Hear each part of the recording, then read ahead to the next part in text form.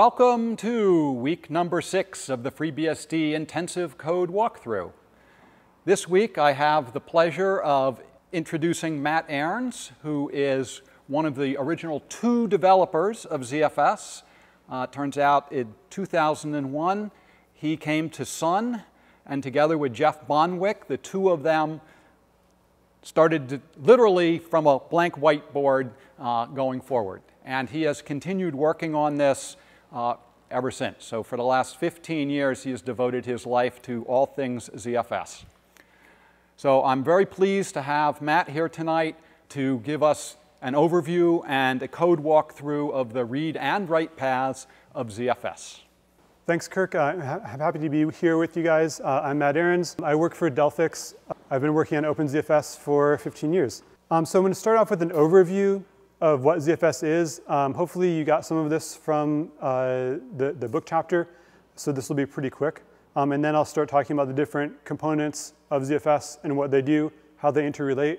Um, then we'll take a little break and then get into the uh, looking at the code. Um, so first off, uh, what is the ZFS storage system? So it encompasses uh, a lot of different functionality. So it's the functionality both of a file system, um, similar to uh, the FFS that you heard about last week, uh, and the functionality of a volume manager um, rolled into one piece of software. Uh, and one of the fundamental differences that we made here is that unlike a traditional file system and volume manager, which have a very strict uh, boundary, um, we've reworked that interface. So with pooled storage, file systems can allocate and free space from the storage pool uh, as they need to, uh, rather than having a fixed allocation.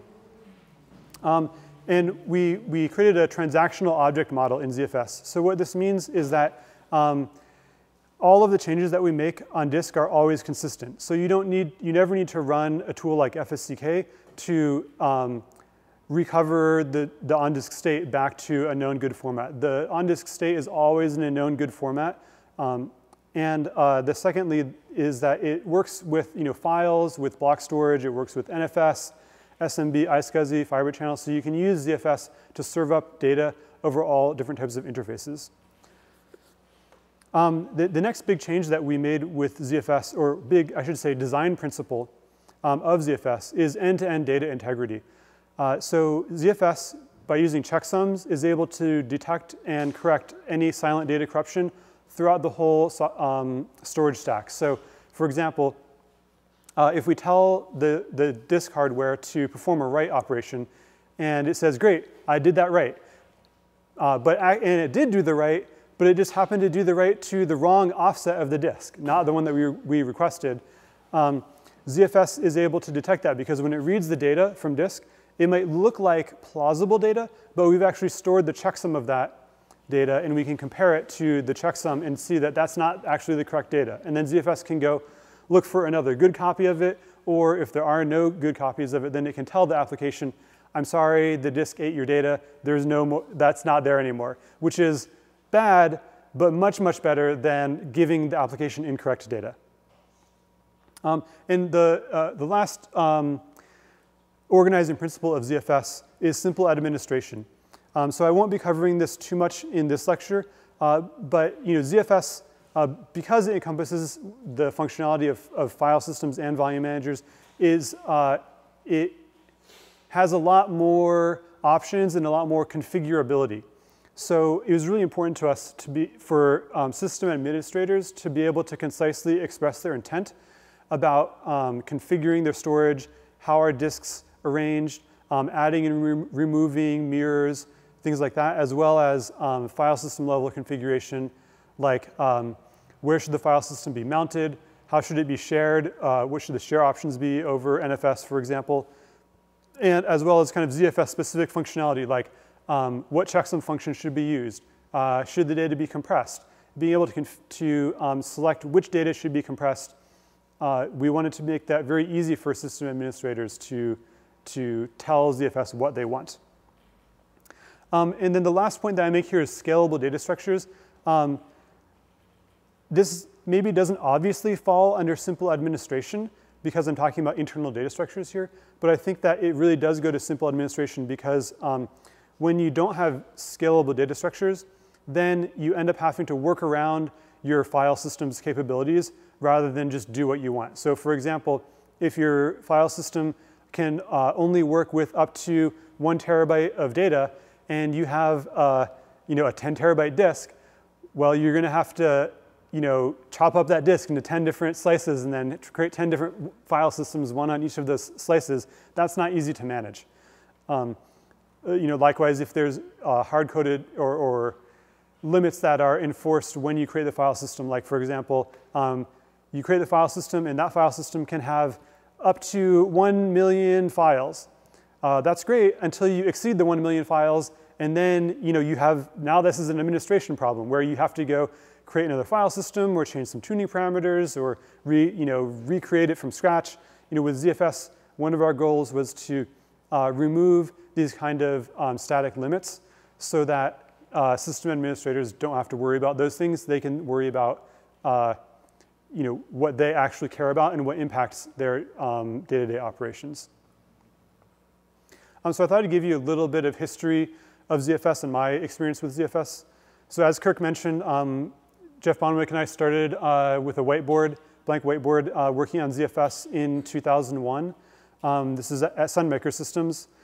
Um, we worked on ZFS for about four to five years before ZFS uh, was open sourced as part of the Open Solaris project at Sun. Um, and that enabled ZFS to start being ported to other operating systems like FreeBSD. Um, so that, uh, I believe, started pretty quickly.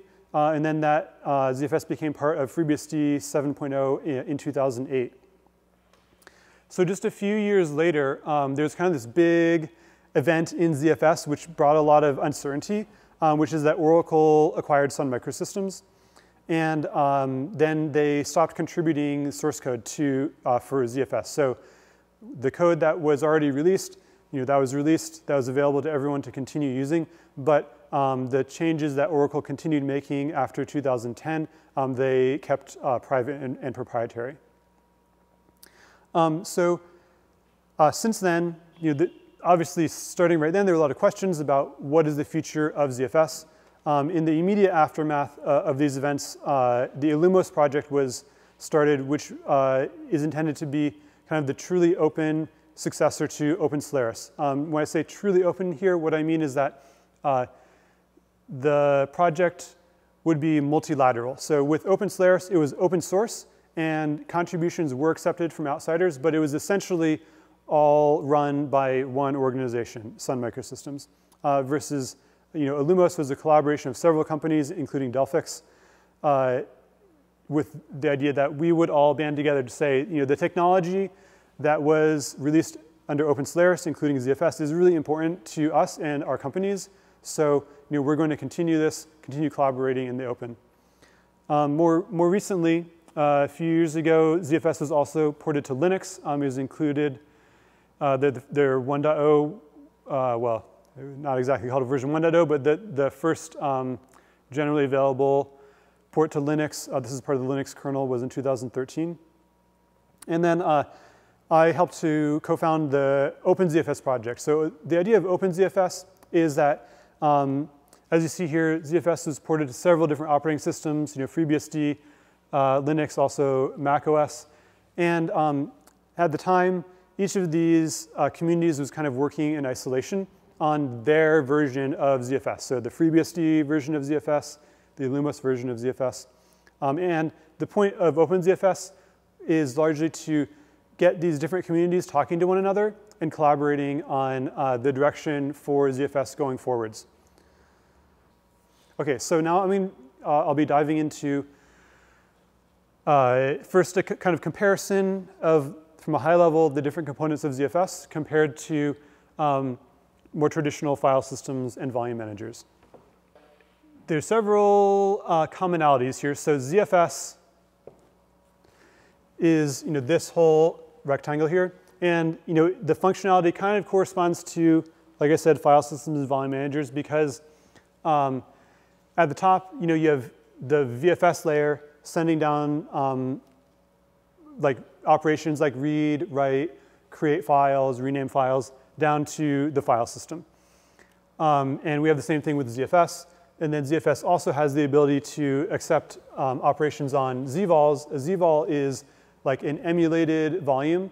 You can think of it as just like one big flat file that can be exported over um, interfaces like iSCSI and Fiber Channel.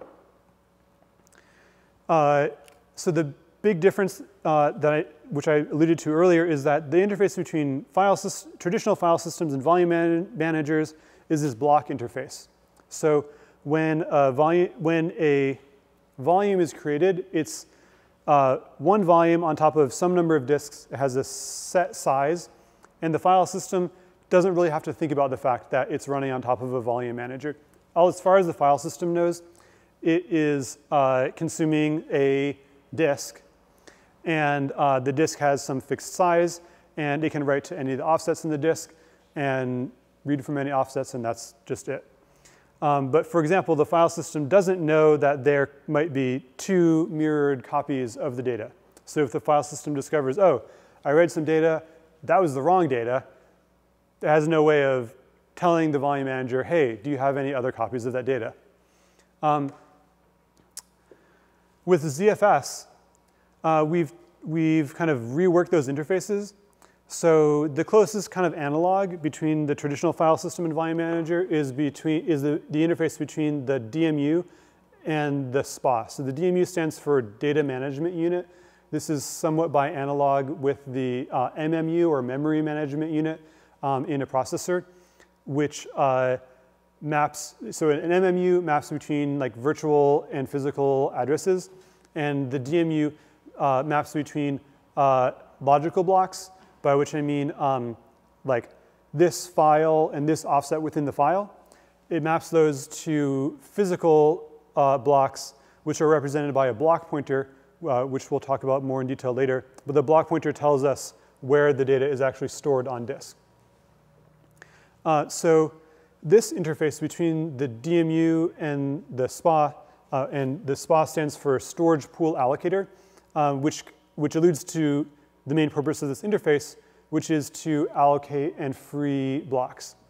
So uh, whenever a file system is processing a write and it needs to allocate space on disk, it sends that data that it needs to write down through the DMU, and the DMU tells the SPA, here's eight kilobytes of data, please write it somewhere to disk and tell me how to find it again. And the block pointer tells the DMU how to find it again. So the SPA is responsible for allocation, so finding a free location on disk, doing the write to that location. Um, if, there's, uh, if it's doing mirroring or RAID, then that all happens in the SPA layer. So it might be writing two copies, one on each of these disks. Uh, and then it tells the DMU where it wrote the data. When um, we overwrite a piece of data, or if we remove a file, then um, the DMU or related parts of the system will tell the storage pool allocator, I don't need this block pointer anymore, so free it. And then the SPA keeps track of where that free space is. Let me talk a little bit about this interface as well between the ZPL and DMU. From now on, I'll use the file system term in the kind of ZFS mentality, which is that you know, where one storage pool um, can have many file systems within it and the ZPL is, re is responsible for all of the kind of file system POSIX-like semantics. So the ZPL stands for ZFS POSIX layer. It implements uh, POSIX semantics like uh, the idea of there are files and there are directories. And you know, directories have entries and there can be hard links, there's link counts, there's permissions and owners. All of that is implemented in the ZPL, and we'll look at that code later. Um, the ZPL doesn't worry about, uh, it just, it knows that I can consume objects. An object is uh, like a file without any additional attributes. So it's just like an array of bytes. Um, and the ZPL doesn't need to worry about how that object is stored on disk. So uh, like, just like traditional file systems, um, ZFS has like indirect blocks that point to other blocks that uh, constitute a file. Uh, but the ZPL or POSIX layer doesn't have to worry about any of that. That's all the responsibility of the DMU. So the ZPL says, hey, you know, you're doing a write. uh, to offset x of file y. I just tell the DMU, put this data into offset x of file y, and the DMU worries about you know, how many layers of indirection are needed, uh, how to find where that offset x is within all those layers of indirection. You'll, you'll probably recognize this diagram from, uh, from Kirk's book. Um, I'm going to give kind of a brief overview of what each of these components are, just so that you have, uh, can understand where the code that we'll be looking at fits into ZFS and um, have an overview of some of the code that we won't be covering uh, in the detailed walkthrough. So in the walkthrough, uh, as Kirk mentioned, we'll be looking at the read and write system call paths. So this is like the core data paths. Um, these are kind of the most performance sensitive uh, parts of ZFS. Uh, and I think they're very instructive as to kind of how ZFS works. Uh, but there's a lot of other parts of ZFS which I, I wanted to give you a little bit of an overview on. So the first one that I'll mention is the ZAP. So uh, in this diagram now, we're looking at uh, you know, ZFS is kind of from this, from here to here. Um, and I've divided the screen into the left part is kind of the data path, and the right part is the management or control path. So this management aspect is about like creating file systems, creating snapshots, uh, setting properties, uh, and kind of the, ar the arrangement and uh, relationship between file systems. And the left part here is kind of the data path of, of read and write. So uh, the ZAP is, stands for the ZFS attribute processor. And uh, the next slide is a decoder ring of what all these acronyms are, um, which uh, I guess will be available later to, for reference. Um, the ZFS attribute processor is essentially a key value store. So it can store, um, the keys can be arbitrary strings, the values can be strings or numbers or arrays of numbers. And the, the, the primary use of this is for directories. So um, just like in uh, FFS, the directory is a mapping from the name of the directory entry to the number of that particular file. Um, and the ZAP is used to store that mapping. The ZAP is implemented using uh, extensible hash table. Um, so uh, you can, it's very scalable up to you know hundreds of millions of entries in a single directory, um, more than most other tools are able to deal with well. Uh, and there's a, this is a fairly heavyweight type of data structure. So there's also a lighter weight version of the ZAP called the microzap, um, which is uh, essentially like a single block that has um, each of the entries. And whenever you access it, you just read the one single block, you cache that in memory um, and manipulate in memory. But on this, on disk, it's simply like an array of entries similar to, um, to tr traditional simpler file systems. Hopefully we'll have time to get to this uh, towards the end of today, but uh, I wanted to mention the intent log. So uh, as you guys read in the, uh, in the book chapter, um, ZFS is a copy on write file system. This means that um, whenever we're writing data to disk, we write it to new, uh, new locations that are not currently in use. Uh, and because of that, whenever we want to write a piece of data, we have to write all of the ancestors of it. So we write one piece of data, and we therefore we have to change the block pointer that points to it because we're writing it to a new location on disk. And uh, so we ha have to change the block that points to that block. And then that block is written to a new location on disk, and its parent needs to be written to a new location. So, so on up the tree. This is a very heavyweight type of operation because you might end, if you have like 10 layers of indirection, and you might change one block and you have to write 10 blocks in order to persist that on disk. Um, typically, this isn't a problem because uh, you're usually modifying a bunch of blo blocks that are kind of next to each other.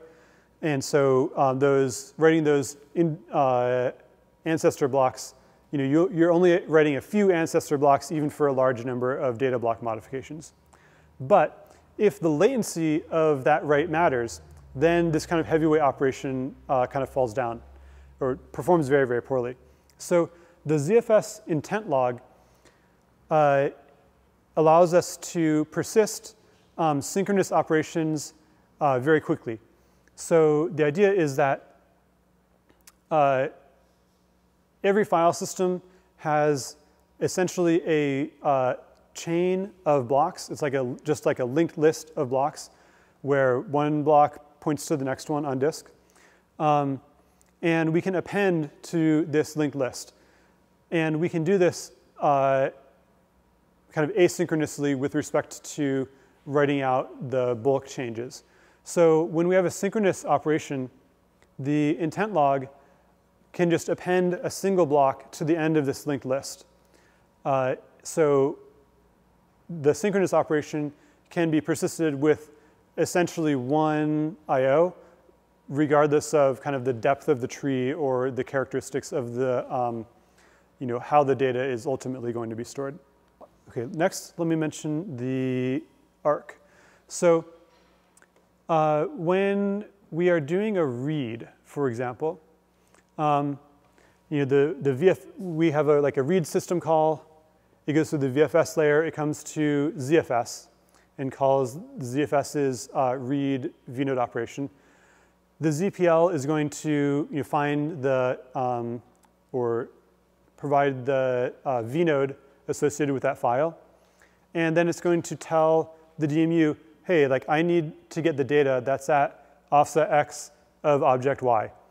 Um, the object Y, it would know from the, the znode, which it would have gotten when it opened the file previously. Uh, so it tells the DMU, hey, I'd like to read. Uh, I need to know the contents of uh, offset X of file Y. Um, the DMU will look through the indirect blocks to find the block pointer for uh, that for for that offset of that file. And when it finds the block pointer, it'll tell the arc, hey, please read this block pointer. I need to, I need to get the contents of it. The arc is the adaptive replacement cache. It's a caching layer inside of ZFS that's separate from the uh, page cache which traditional file systems um, integrate with. ZFS doesn't use the, the page cache um, except for kind of specialty operations like uh, mmap. So um, the, the arc basically tries to use, um, it'll use like as much memory as it can of your system to cache data, uh, to cache ZFS data. And the arc is indexed by the block pointer, essentially. So the, the block pointer tells us the physical location on disk, and the arc would use, has a big hash table that's indexed by that physical location on disk. It looks to see if it has the data, and if it already has it, it'll return it to the DMU. Um, the reason that it's called the adaptive replacement cache is because uh, it's, you can think of the arc essentially as a scan-resistant MRU, uh, most recently used. So uh, like MRU cache, um, older blocks will be evicted, but uh, if we, we make the distinction between blocks that have been accessed exactly once and blocks that have been accessed many times. So if you're scanning a large file, those blocks would be accessed uh, only once.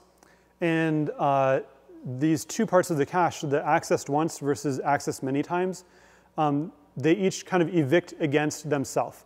So the cache is like divided into, you know, if you have a terabyte of cache, maybe like 200 gigabytes is uh, accessed once and 800 gigabytes is accessed multiple times. So if you scan some large files, then in the worst case, you're only going to end up evicting the 200 gigabytes of accessed once data. And the stuff that's been accessed many times still stays in the cache. So it's, that's why we call it a scan-resistant um, LRU. Okay. Oh, the other aspect I wanted to highlight of the arc is, as I mentioned, it's physically indexed. So this is very relevant with ZFS because ZFS has um, block sharing using snapshots and clones. So when you create snapshots in ZFS, the snapshot is you know, uh, uh, essentially like a read-only copy of the data that's currently in the file system. Uh, and then as the file system changes, the snapshot remains the same but uh, initially, you know, all of the blocks uh, in that file system are shared between the snapshot and the, the file system. So uh, all of those shared blocks are referenced by both the snapshot and the file system. So you could do a read system call which reads from that snapshot and it could, you know, it would go through the ZPL. There'd be like an instance of the ZPL that's specific to that snapshot that's distinct from the instance for the file system. Similarly, uh, um, there'd be a different instance of the DMU data structures for the snapshot. But the arc is common to the entire storage pool. So the snapshot and the file system reference the same physical block. That block would be cached once in the arc. So uh, you know, if you're, if you're accessing your main file system a lot and then you go back to access the snapshot, probably most of the blocks that I referenced are actually the same as the file system, so those blocks are already cached. Similarly, um, a clone is like a writable snapshot. Um, it's kind of more accurately described as a file system whose initial contents are the same as a snapshot, as opposed to a non-clone file system is just like a file system whose initial contents are empty. So a clone also shares all of its blocks with the snapshot it was created from. Um, so uh, those clones also, you know, they might be ref you may have a whole bunch of clones of one snapshot. They reference mostly the same data, um, so you only need one copy stored in the ARC, and the ARC would find that data based on the physical address where the data is stored on disk. Component of the ARC called the L2 ARC. Um, this is L2 for layer two. It's basically like another layer of caching. The arc is stored in memory. The L2 arc is stored on a storage device. So typically the way this is used is like if you have a storage pool which is primarily spinning disks, you can accelerate access, uh, accelerate read access by adding a faster device like an SSD um, and using that as a cache device. So if you've heard the term, um, yeah, if you're an L2ARC or L2ARC device, that's referring to this um, cache device that's used to cache reads. Um, and it, it's integrated with the ARC. So as I mentioned, the ARC has this giant hash table of that maps from the physical address where it's actually stored to the cached data.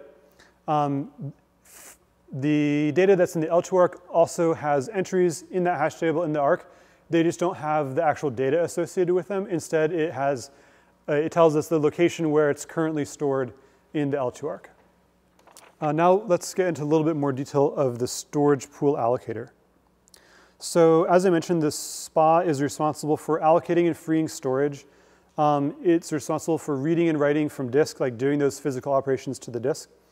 Um, it's also responsible for compression and for data integrity. So it is performing all the checksums, verifying checksums. It, um, if you're doing RAID using RAID-Z, it's doing uh, calculating the parity. Um, if the RAID device, if a device in the RAID-Z group failed, then it would do parity reconstruction. Um, and it's also responsible for like IO queuing and aggregation. So, uh, you know, if you have a lot of IOs um, pending at once, then the SPA will sort those IOs based on priority and offset um, and decide what order to issue them to the disk. And the priority that we're talking about here is fairly coarse grained. Um, so there's basically like synchronous reads, synchronous writes, asynchronous reads, asynchronous writes, and uh, then scrub or reconstruction IOs. So the, the, one of the main ideas here is that um, synchronous operations are more important, so they kind of always go to the front of the line. And we often have a huge number of asynchronous operations queued uh, whenever we're flushing out a batch of changes to disk. Um, so that's uh, also known as like TXG sync or SPA sync or flushing the transaction group. That's all talking about the same thing, which is flushing all the dirty data um, to disk if we have a lot of dirty data, then that's able to generate a lot of um, IOs all at once. So you might have um, tens or hundreds of thousands of IOs in the system at once. And the SPA makes sure that those don't swamp out the, um, the synchronous operations like, you know, if you do a read, you want to get that read issued to disk before the 10,000 writes that are waiting there. One of the biggest parts of the SPA is the ZIO layer. Um, and the, the ZIO layer uh, is responsible for most of the aspects that I, most of the features that I just, that I just mentioned. Um, so the ZIO is implemented as a pipeline of stages where each stage does one particular operation. So a stage might be like compress the data, or perform the checksum of the data, or verify the checksum of the data, or allocate the data on disk, and then finally perform the actual physical I.O. to the disk. And these ZIOs form uh, a dependency graph. So um, this lets us uh, this lets us have lots of IOs pending um, while expressing the exact um, dependency requirements. Uh, so the dependencies that we're talking about here, the two main types are um, in a tree of indirect blocks, uh, we need to write the, like we have to write the data blocks before we write the indirect blocks that point to those. And we have to write that L1 indirect blocks before writing the level two indirect blocks that point to those level one indirect blocks. Um, but we don't want to have like, the way I described it is like kind of a static, like first you write all of the data blocks, then you write all of the level one indirect blocks. But that wouldn't perform very well because you'd have this, um, like as all of the data blocks were almost done, you'd have most of your disks being idle before you set off that next batch of level one indirect blocks. So um, instead what we, what we do with the ZIO layer is that each like each indirect block knows that it depends on just the data blocks below it. So let's say maybe there's 10 writes to data blocks below one indirect block. Once those 10 data blocks are completed, then we can issue the write for that indirect block, regardless of if the other, you know, we might have 10,000 other data blocks that are part of other indirect blocks. Those might not be completed, completed yet, but we can get started with this indirect block. So this uh, the goal here is to keep all of our disks busy all the time whenever we're writing out data. This gives us maximum write throughput performance. Oh, and the other type of dependency that's expressed here is, um, uh, for example, if you, if you are doing mirroring or RAID Z, then one logical I.O. Uh, of writing you know, this block of this file might we would, we would need to perform several physical IOs. So like if we're doing a mirror, we need to write to both sides of the mirror. Um, so the logical IO would have two child IOs, one to write to each side of the mirror. Once those two um, physical IOs are completed, then the logical IO can itself complete and then tell, you know, tell the indirect block above it, hey, I, have finished. The VDEV layer, uh, which, which includes RAID Z and mirrors, um, is executed, is invoked by, as part of the ZIO pipeline. Um, the one thing I'd point out here is that VDEV stands for virtual device, but these devices are not really very virtual. There's not much virtualization there. Um, you know, it, there's, there's a type of virtualization in that like, you know, we can think of this as just one device, even though it has, it's actually composed of two mirrors or, you know, 10 devices in a RAID Z group. Uh, but there's no like massive indirection um, going on there at the, at the VDEV layer.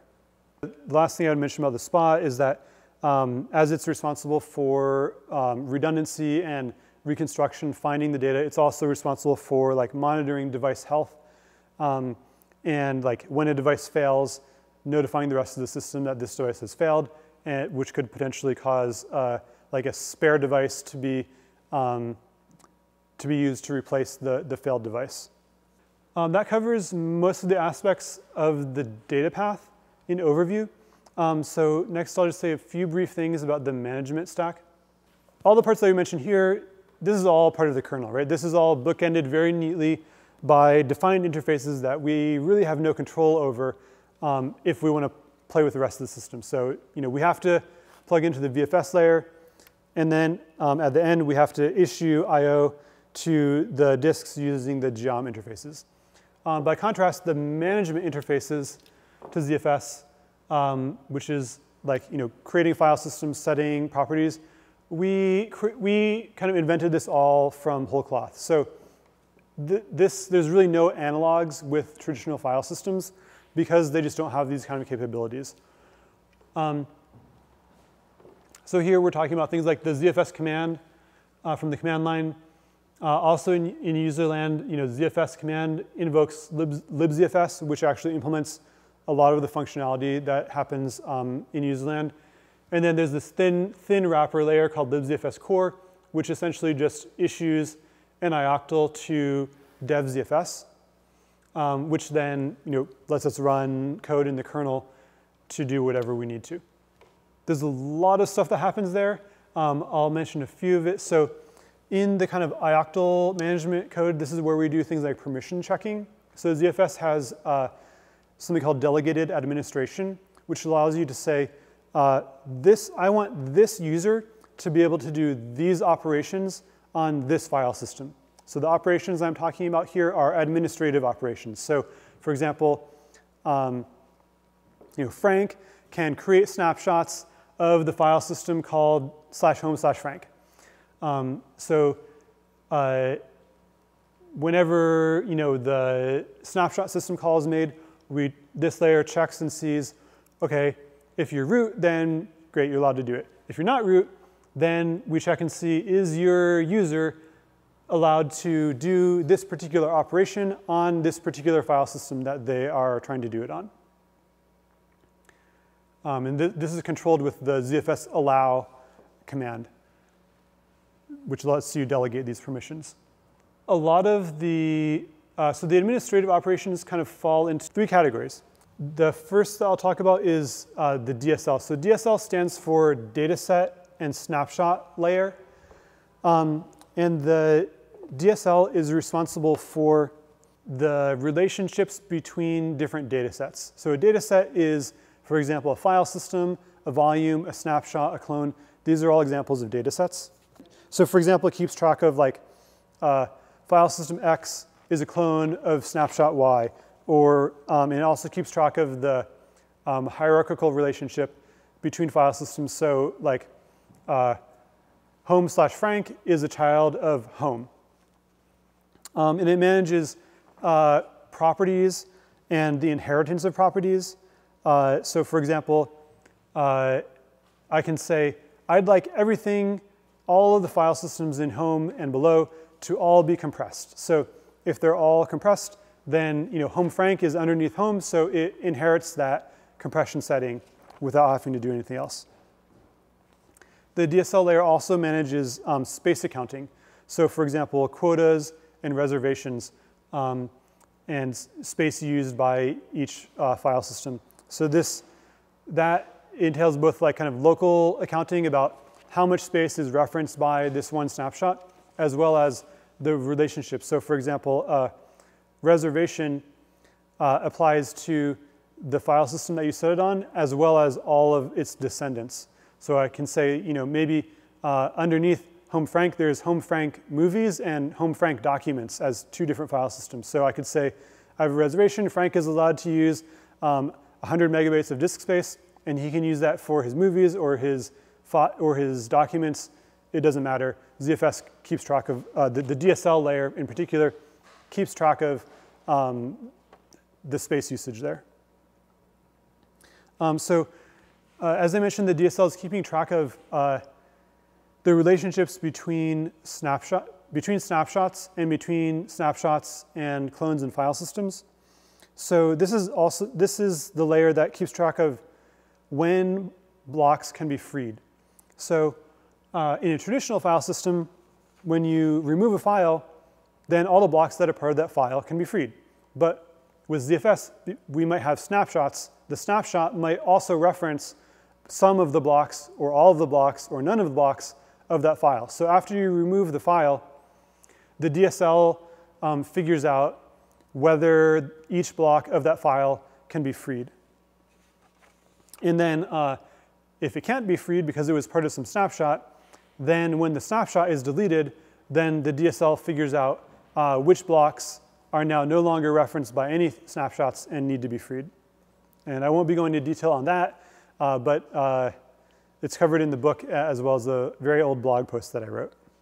Uh, in terms of the management interface, um, you know, you might be, like if you're creating a snapshot, uh, you know, you'd run ZFS snapshot home slash frank at uh, Thursday.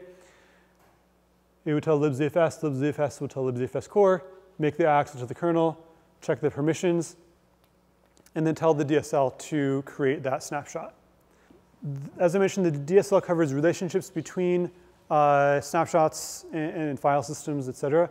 Um, but another big aspect of uh, configuring ZFS is configuring the storage. So here I'm talking about essentially the um, things that you can do with the zpool command. Uh, so adding disks, removing disks, um, configuring disks to be mirrors or RAID Z, uh, replacing disks, uh, removing disks, all of that um, would come through this management interface to this VDEV configuration layer, which is kind of very tightly tied with into the SPA. The last kind of major aspect of management is um, send and receive. So uh, ZFS send uh, allows you to, well, ZFS send serializes the contents of a snapshot and sends them um, to userland through a file descriptor. And uh, the kind of key thing about ZFS send and receive is that it can also um, serialize the incremental changes between two snapshots. So uh, this allows you to do like incremental replication or incremental backups very efficiently because ZFS is able to find those incremental changes much, much more efficiently than uh, traditional utilities that might, that kind of come through this POSIX interface. The information just isn't available to them to be able to efficiently find the, uh, the data that was changed. So utilities like you know, rsync would be coming through this interface, and rsync would need to, for example, look at every file in a file system to find which files were modified, versus um, send and receive uh, by using the internal ZFS metadata is able to um, just quickly find the modified data. And yeah, and send and receive consume, it basically interfaces with the data management unit um, kind of as a peer to the ZPL, uh, reading data from objects in ZFS. As you can kind of infer from this, it's going through the DMU, the DMU is going through the ARC. So uh, if you're doing a send and you're sending recent changes, then it's likely that those are still cached in the ARC, so we won't need to read them from disk. Here's your kind of decoder ring of what all these things stand for that I talked about on the last page. Uh, so quick overview of the on-disk format of ZFS. And this is um, also covered, from, cover, covered in the book, and this is, uh, these slides are taken right from diagrams in the book. So uh, like um, most file systems, uh, ZFS is stored on disk as a giant tree of blocks where you have uh, the leaf blocks hold uh, user data and um, blocks in the middle of the tree hold pointers to other blocks. Um, so we call those indirect blocks and a tree of indirect blocks is represented by kind of this triangle here. With ZFS, there's really only one piece of data which is stored at a fixed location on disk, um, and that is the uber block. Um, there's actually uh, several copies of the uber block stored um, on every disk that's part of the pool, stored at the beginning and the end of the disk. So there's quite a bit of redundancy there, but um, logically speaking, you, you, can think of it as like there's only one there's only one Uber block and it's stored at essentially a fixed location. It's just that we have other older copies just in case. An object set is a collection of objects. Um, as I mentioned, object is like a flat file. It's just uh, contains an array of bytes of you know, up to 2 to the 64 bytes. Um, the Uber block points to this object set that we call the meta object set, or MOS for MOS.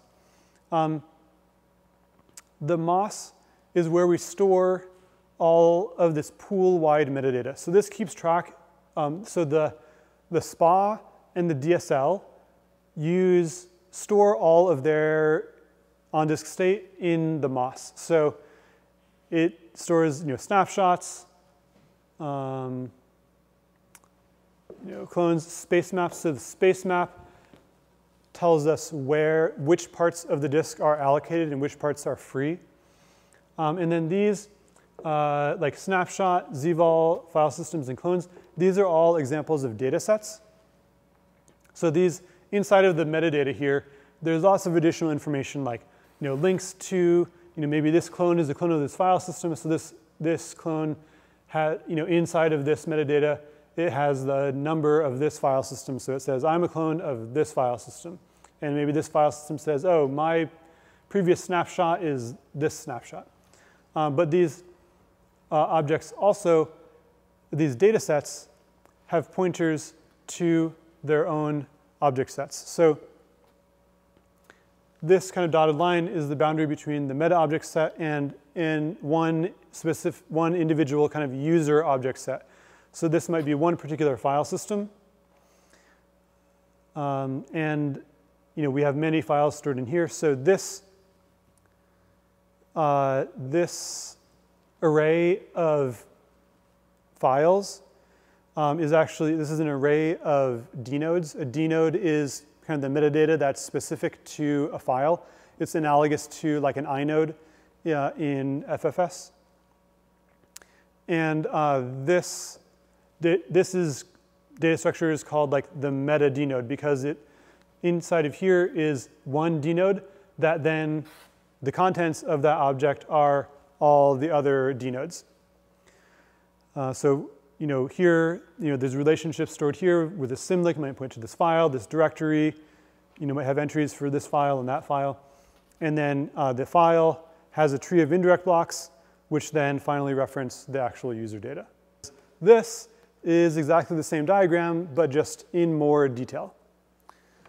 Um, so this shows some of the things that I, I mentioned on the last slide. So for example, you know, as I said, the dnode, this is an array of dnodes. This dnode is specifically a data set. So inside of this data structure is embedded, there's like the dnode proper, which tells us like how many layers of indirection there are and block sizes and things like that. And then there's also a pointer to the data. And then the embedded inside of that is uh, another piece of metadata, which in this case is a DSL data set. Um, and that is where it would have like the pointers to snap, the snap, you know, most recent snapshot, pointer to the parent, uh, pointer to, you know, if this is a clone, it would, it would have a pointer to the uh, snapshot that it is a clone of the ZIL. So I meant, you remember I talked about the ZIL, which is this chain of blocks. Um, so each object set has its own ZIL, has its own, um, which has its own chain of blocks. And uh, one of the interesting things about the ZIL is you know, as I mentioned, ZFS never overwrites any data on disk. So the ZIL, you might ask the question, how do I append something to this linked list? You know, to append something to this linked list, I have to modify this entry to point to the new thing that I'm writing. But I can't modify this because I can't modify anything that's on disk. Uh, that's already allocated. So the way that this works is the last valid block of the ZIL already has a pointer in it that points to a new location that we've allocated but haven't actually written to yet. So when we need to append, we're going to write to that allocated but not yet written um, uh, kind of tail block or last block of the ZIL. And then when we write it, we always allocate the next block to be written. Um, and then uh, when we are reading the ZIL, that means that essentially we um, keep following these pointers until we get, read some piece of data that is not valid. Um, and we detect the validity by like using a checksum. So each block has an embedded checksum uh, that is a checksum of all of the rest of the data in it, as along with like a bunch of other information to protect against other weird error modes. Yeah, we read, read the ZIL until we get to a block that is invalid, and then we stop reading. I talked about, uh, so I use the pointer, I use the word pointer um, in two different ways as I've been speaking here. So when I said like the data set, this data set might point to is the most recent snapshot over here. Um, the way that, that pointing happens is that uh, you know, each of these objects has an object number, right? This is object number one, object number two, number three. So, so it points to this object by just saying, you know, my most recent snapshot has object number two, right? So it just has the number two stored in the right place in there. The other type of pointer is uh, the one that's represented here on the diagram with an actual pointer, and uh, with, well, with this kind of pointer. Ignore this one. um, here, for example, so these are block pointers. So they're pointing to another block on disk. You might ask, how does it point to that? So uh, this shows the contents of the block pointer. Um, in, uh, in simpler file systems like FFS, the block pointer is, you, uh, is just like a 32-bit number, which tells you the offset on the disk. But with ZFS, um, we don't just have one disk, we have multiple disks. So at a minimum, you know, we need to have something that tells us which disk, which is this VDEV ID, that tells us which disk this data is stored on, and then the offset tells us the offset within that disk. Um, and uh, you also, so with traditional file systems, all of the blocks are the same size. So you know that you're always pointing to four kilobytes of data. So you just have a 32-bit number and it says, I'm talking about the, you know that I'm talking about the four kilobytes of data at this offset of the disk. With ZFS, uh, the blocks have variable size. So we also need to store in the block pointer the size of the data that we're pointing to. Um, and you know, usually the thing that's reading the block pointer does kind of implicitly know the size because we know like, okay, I'm reading this file. I know that all of its indirect blocks are 16 kilobytes. But there's often times where the block pointer needs to stand on its own. So for example, uh, when, when we are, uh, when we need to keep track of like what blocks to free, what blocks are part of a snapshot, um, we would just have like the block pointer by itself without much additional context. So whenever we free a block, you know, we need to know how much data am I freeing at this offset. Uh, next interesting thing here, we have not just one VDEV size and offset, but three of them. Uh, this is so that we can have additional redundancy. So with ZFS, um, by default, all of the user data we store one copy of, but all metadata we store at least two copies of.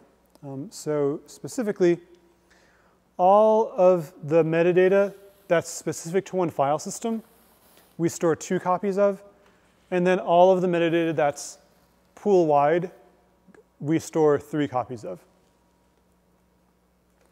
And these, um, we, we call each of these a DVA for data virtual address. And again, it's not really virtual but it points to a virtual device, which is also not really virtual, so it's called a DVA.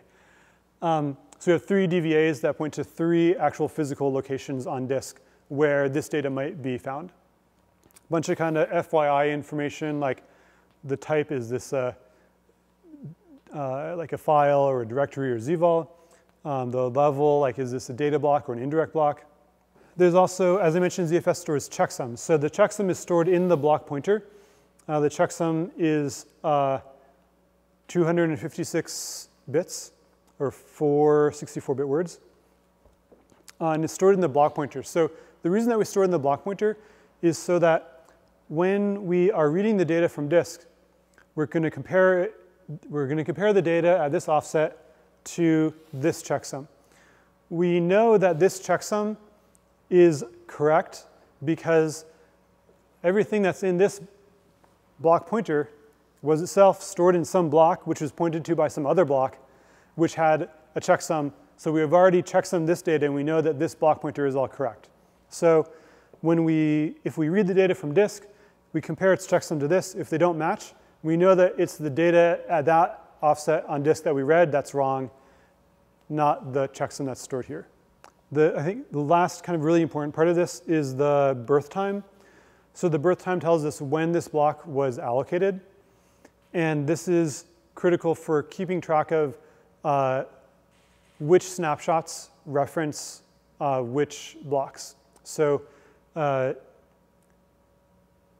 for example, when we delete a file, we can compare all of, you know, we look at each block of that file and we check, is, the, is this block's logical birth time after the most recent snapshot? If it was written after the most recent snapshot, then we know that no snapshots can reference this block. So therefore, nobody references this block. Therefore, we can free it.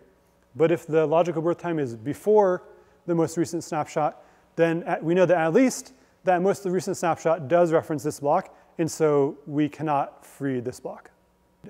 Any, any questions about this overview before we take a break? Yes? I guess didn't pick it up. The question was, um, what is this padding, and why don't we just have a larger A size? These bits were originally envisioned to be used for something that never came to be. So yeah, we could just say that the A size is all 32 bits. We, there's kind of a bunch of different things that kind of conspire to mean that it can't ever be more than 2 to the 24 times 512. The reason for that is that the logical size is limited to 16 bits. So we can't ever have a logical size block that's more than 2 to the 16. And the A size can be more than that, right? So like, for example, if we we are using RAID Z, we have to allocate additional space for the parity blocks. And there's some other like corner case kind of things where we might need to allocate more space than the logical size. Uh, but it can't be more than 256 times the logical size. So there's, there, I mean, if someday we realize, oh, we might need to allocate more than 256 times this, then yeah, we could just kind of by fiat say, oh yeah, instead of those being padding, we're now using those as the high bits of the A size. Um, so I'll be kind of concentrating on the performance sensitive parts of this. Um, so we'll be talking about kind of how the bulk of the data moves and um, largely not on kind of the nitty details of permissions checking and, and things like that and error code paths. Um, so first, I'm just going to give a quick overview of the different components involved and what they will be doing, and then we will look at the code. Just like with FFS, you know, it's going to come in from a read system call um, through the VFS layer. Um, if it came from the NFS server, it would be very similar. Uh, we're going to get to the ZFS POSIX layer that implements the ZFS read vnode op. Um, so that's going to say, you know, read this vnode, this offset, this length. Uh, and here's a buffer, a UIO buffer to fill in. Um, the ZPL is going to basically request that data from the DMU. Um, the DMU actually has its own cache. The cache is, um, in contrast with the ARC, the cache in the DMU is logically indexed. So this cache is indexed by essentially like the object set number, the object number, and the offset within that object. So first we check and see, is there a dbuf? So there's a structure called a dbuf, which stands for a DMU buffer, and that represents like one logical block. So this particular block of this file of this file system. We check and see, do we have uh, the dbuf that, that, that, that, contains the data that we're looking for?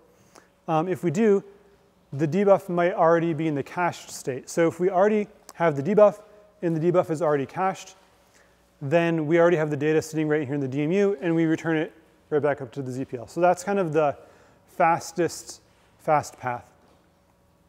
Um, if it is, uh, so one other um, performance sensitive detail here, the DMU uh, will notify the prefetch engine, which is not pictured here, but it'll tell the prefetcher, hey, we just got a request to access this offset of this file the prefetcher keeps track of um, recent accesses and tries to look for patterns.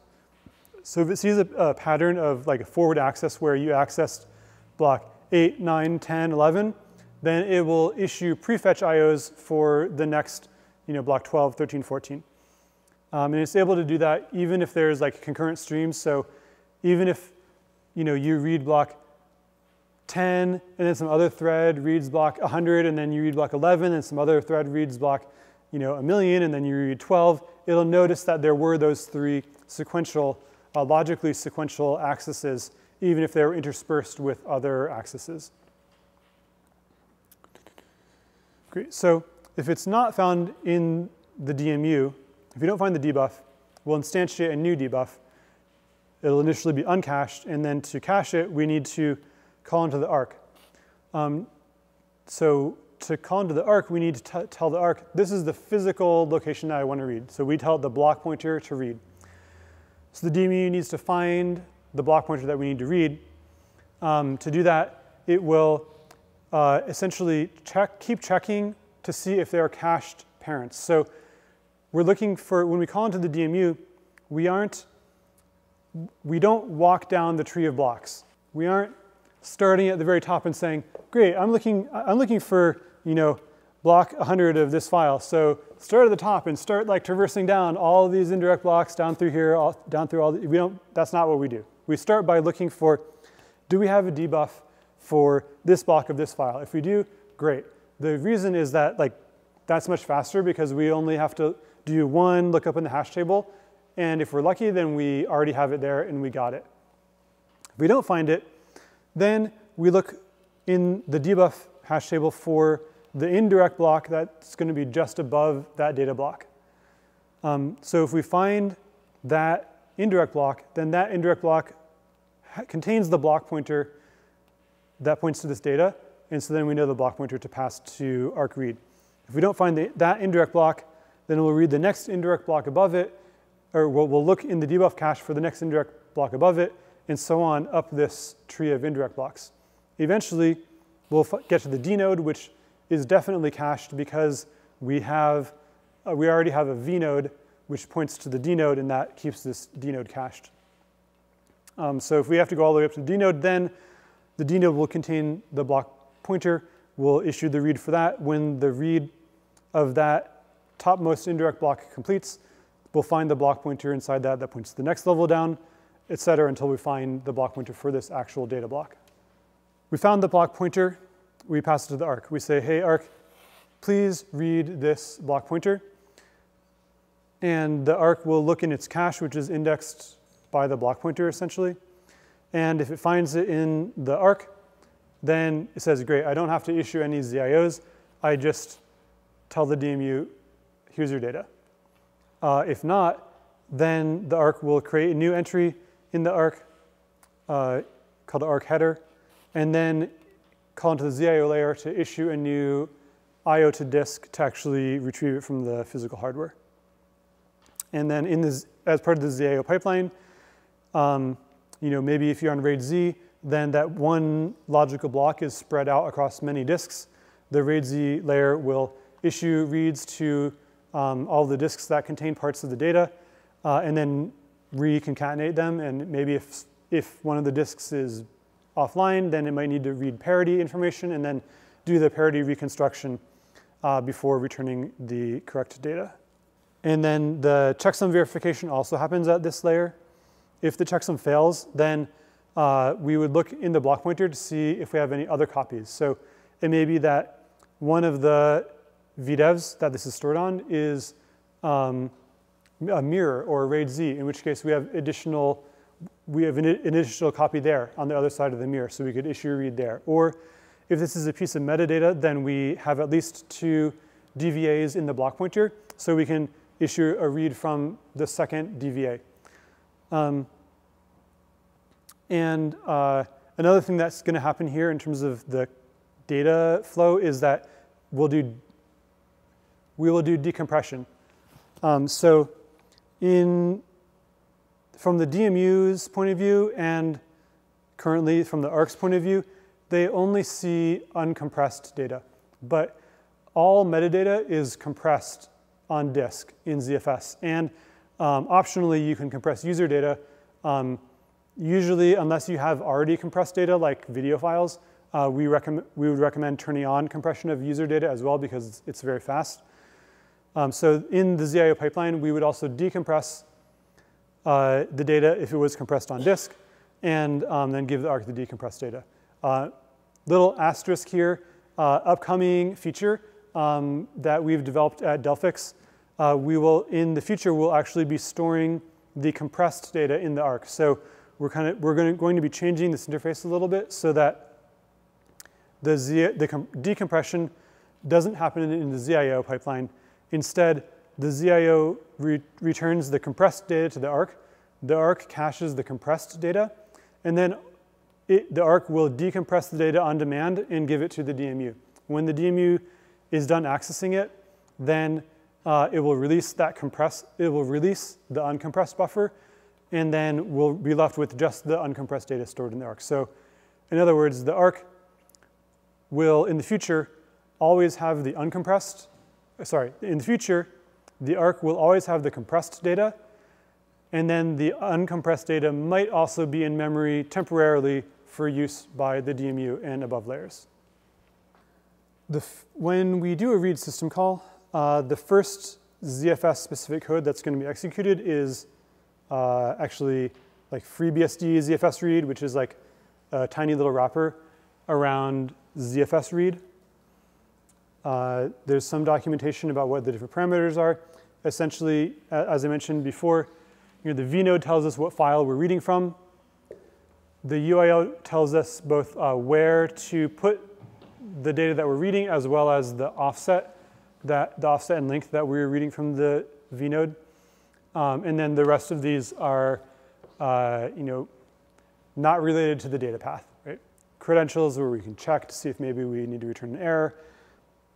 POSIX semantics uh, require that uh, every read and write system call appears to be atomic from the caller's point of view. So in other words, um, if I do a read system call that covers some range of the file, sorry, if I do a write system call that covers some range of the file, then any um, read system calls will see either the old data or the, the whole old data or the whole new data. They can't see a partially completed write system call. Um, a lot of other file systems implement this by having like a giant reader-writer lock for each file. So in other words, um, you can have a lot of re concurrent reads going onto this file, or you can have one write going onto this file. Um, and then uh, because performance of this kind of sucks, if you're using an application that wants to issue a lot of concurrent writes, like a database, then they have like a, um, like a mount flag or something like that that allows you to essentially disable all that locking, disable those POSIX semantics, and just assume that the application knows what it's doing. And we won't do any locking in here so that you can get all of your concurrent writes going to all different places. But you know, you might see some partial writes, but you really know what you're doing, application programmer, so that's okay.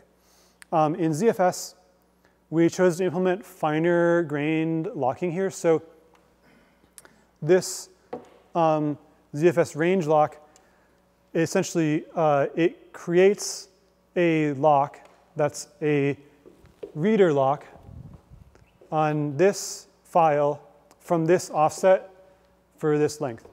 So um, if there are any concurrent writes going onto this file, if those writes overlap with this offset and length, then this will block. But it, there could be other writes to other ranges of the file going on concurrently, and then this will not block. And the way that this is implemented is with a, an AVL tree that keeps track of all of the ranges that are locked. Yes, great, it's right here. So this is in um, ZFS rlock.c for range lock. The key part here, we create a new, um, like we allocate a new lock in RLT, which is the lock, and we are going to try to add it to this AVL tree. Um, an AVL tree is basically, you just think of it as like a sorted, it's a type of balanced sorted binary tree. So this, this AVL tree is sorted by like the offset in the file. Um, so it's going to, uh, it's going to add, add a new entry into this AVL tree for this particular range, indicating that this range is locked.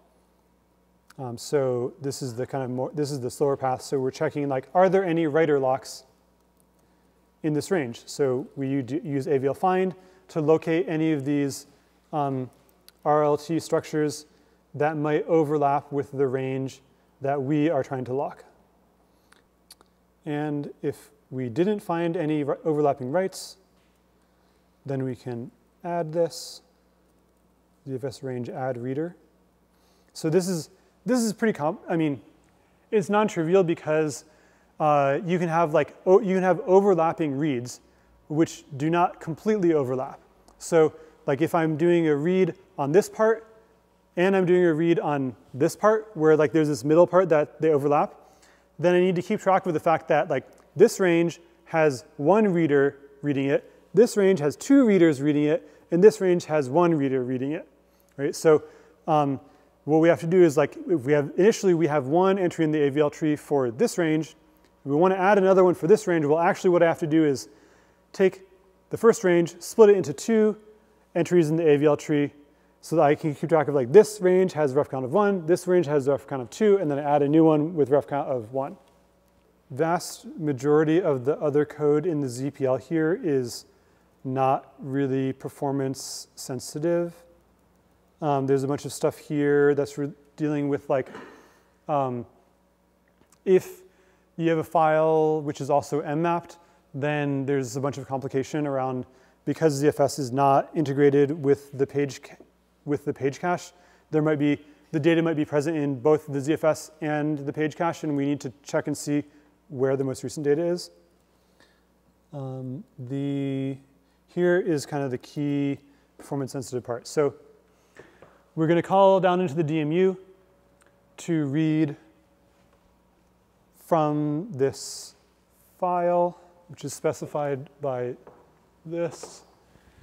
The UIO tells us where to put the results and where to start the read, and then the end bytes is how many bytes we're going to read right now. And then, then at the end, we release our range lock. Oh, and update the A time of the file. I'm not going to get into that stuff. Let's get let's look into the DMU. Great. This is basically a little wrapper function. Um, so as I mentioned, this specifies like which file to read from. And the way that we specify the file in this case is we give you a dbuf, which is the DMU buff T, a dbuf which is in the file that we want to read. Um, in this case, it's always going to be the bonus buffer. Uh, the bonus buffer is like the data that's stored embedded in the znode. It, ha it has some ZPL specific metadata that's stored on disk. Um, but the reason that we do this rather than specifying like the um, object set and object number is just to save us um, a lookup in the dbuf hash table. So we specified the object set and the object number, then we would have to look up that object number in the hash table to find which dnode it's associated with. But here, like this guy already has a pointer to the dnode, so we don't have to look in the hash table.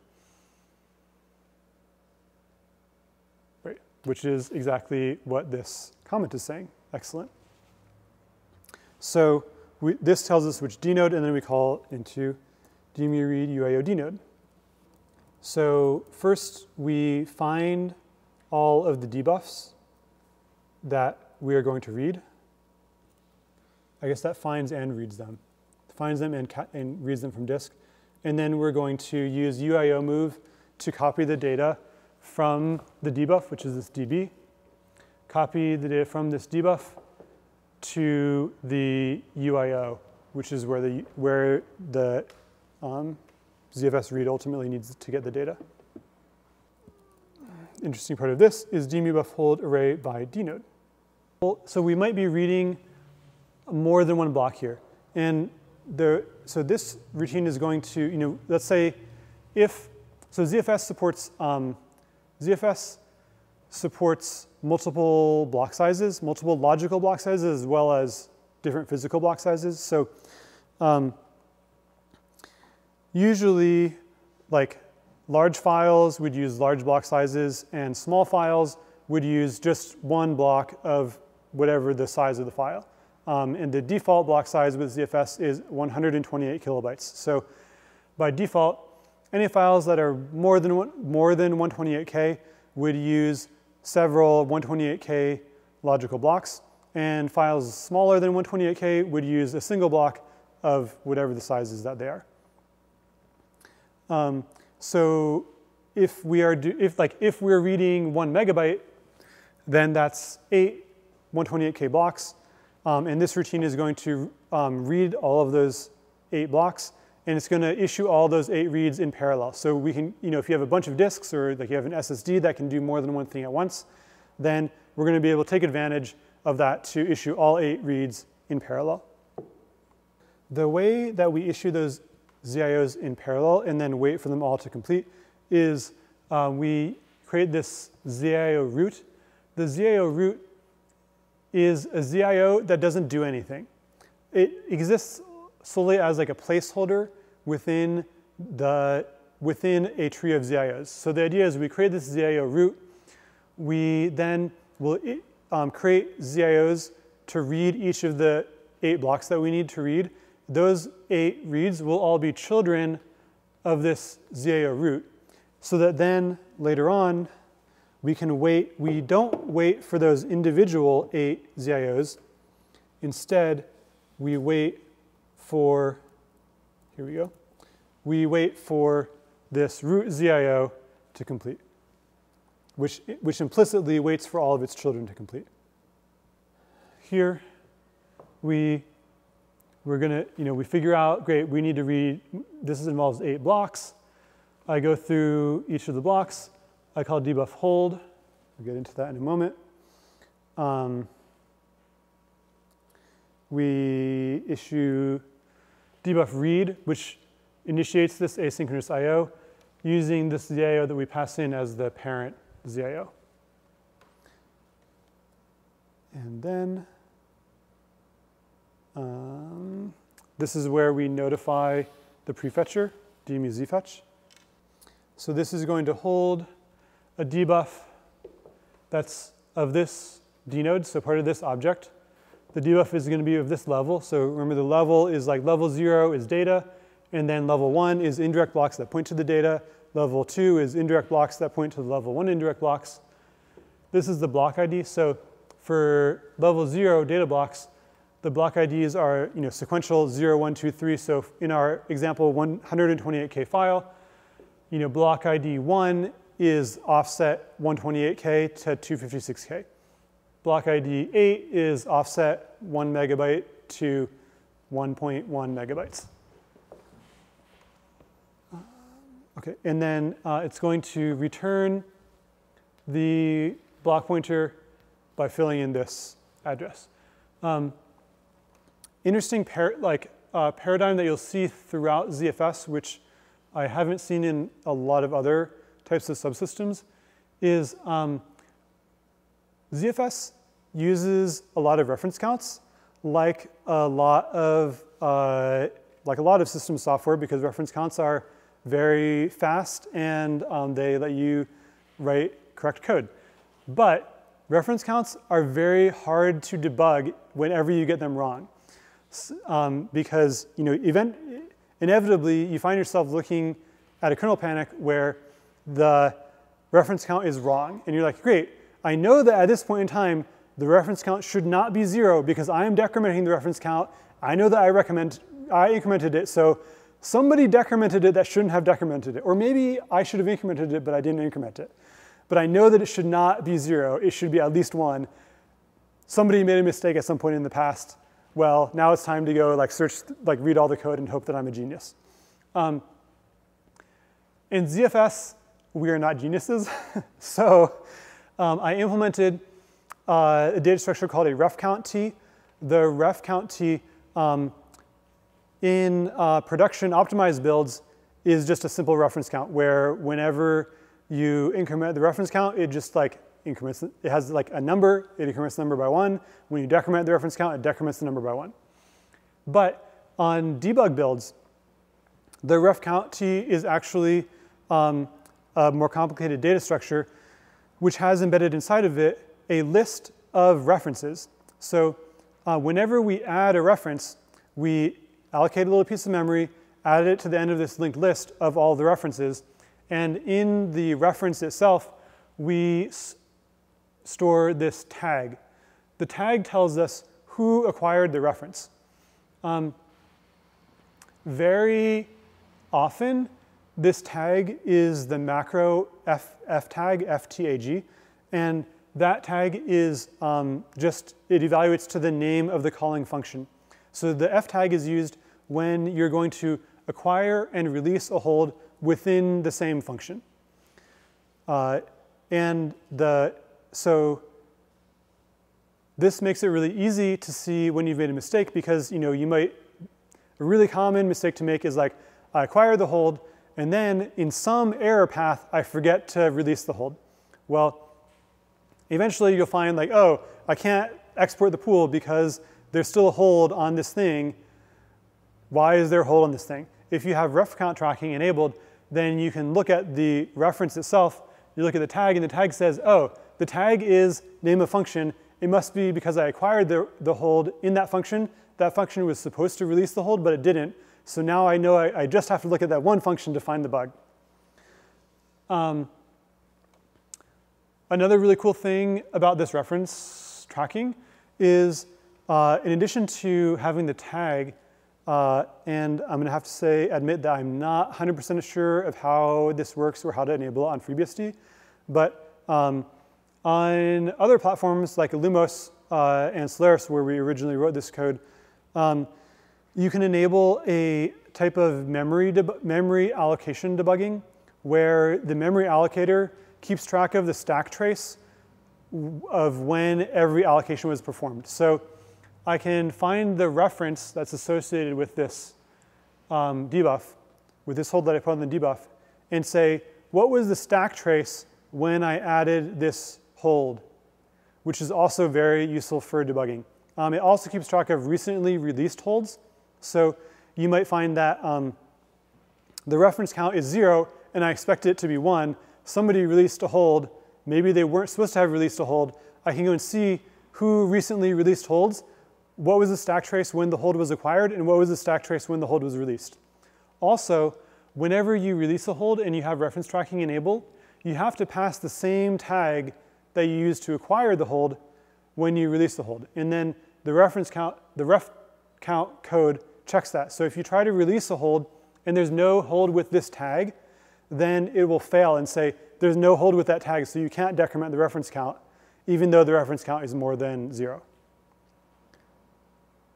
Sorry for this. This, this is totally a not performance code path diversion, but I think it's, it's a really neat um, uh, debugging technique uh, that we use in ZFS. Dbuf hold impl, it calls dbuf find. So dbuf find is going to try to locate this dbuf in the hash table. Um, so this is a pretty straightforward hash table lookup. Um, you can see the hash function is based on the object set, object, level, and block ID. That's the logical um, identity of this block. If we found it, then great. But if we did not find it in the hash table, then we call, then we are going to need to create a new dbuf and then read it in. Um, to create the new dbuf, we have to know what is the parent dbuf and what is the block pointer into the, de the dbuf that we're looking for. So this routine, debuff find BP, we're going to tell it, hey, I am interested in this file, this level, this block ID, and I want you to give me back the parent dbuf and the block pointer, which is within that parent, that points to the data that I'm interested in. Let's take a look at the dbuf find BP. So this is going to figure out what sort of parent do we have. So either the block is referenced by an indirect block, or the block is referenced directly from the dnode. So um, as I mentioned before, like the dnode has a block pointer embedded in it. That block pointer can point to a tree of indirect blocks, which eventually point to the data block. So uh, like in this example, let's say that we have to go to one more level. of indirection to find the, da the um, data. So we, we know that n levels is the total number of levels of indirection. Level is the level of the block that we're looking for. Uh, sorry, we recursively call dbuf hold impl, looking for the block that's in the same file, but at one level above us at the block ID that points to us. So here, this is the block ID of the block, the block ID of the block we are looking for.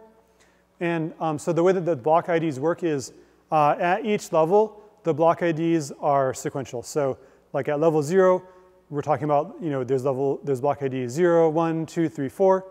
Um, each, uh, so in FreeBSD today, there's the default indirect block size is 16 kilobytes. So that means that there is 128 block pointers in each indirect block. So the first 128 block pointers would be in block ID zero. It would be in level one, block ID zero. Then the next, the second 128 block pointers, 128 blocks, would be pointed to by level one, block ID one. Um, so this right shift by EPBS just basically divides by 128. Um, EPBS stands for entries per block shift. because we're shifting by this amount. So this is like uh, five, uh, what, five? Is that right? 120, two to the, two to the five is 128? Hopefully. You can, you can dub in the correct answer if I mess that up. Uh, great. So we, we call, call ourselves recursively to hold the, the parent indirect block and then call dbuf read to read in the parent indirect block. And then we do some more crazy math to find the block pointer within the parent indirect block. So this is again, uh, basically doing the block ID mod 128. We did dbuf find BP. We do dbuf create. Um, so we're going to create a new dbuf for this in this case it's level zero. Um, this is just going to allocate a new dbuf, fill in all the information about it, and then add it to the hash table. Where is add to the hash table? Ah, here we go. So we add to the hash table, and um, we uh, we do all this, like we instantiate that dbuf before actually grabbing the hash lock. So the, the hash lock, um, like the lock for that particular bucket or range of buckets in the hash table is only acquired inside of dbuf hash insert.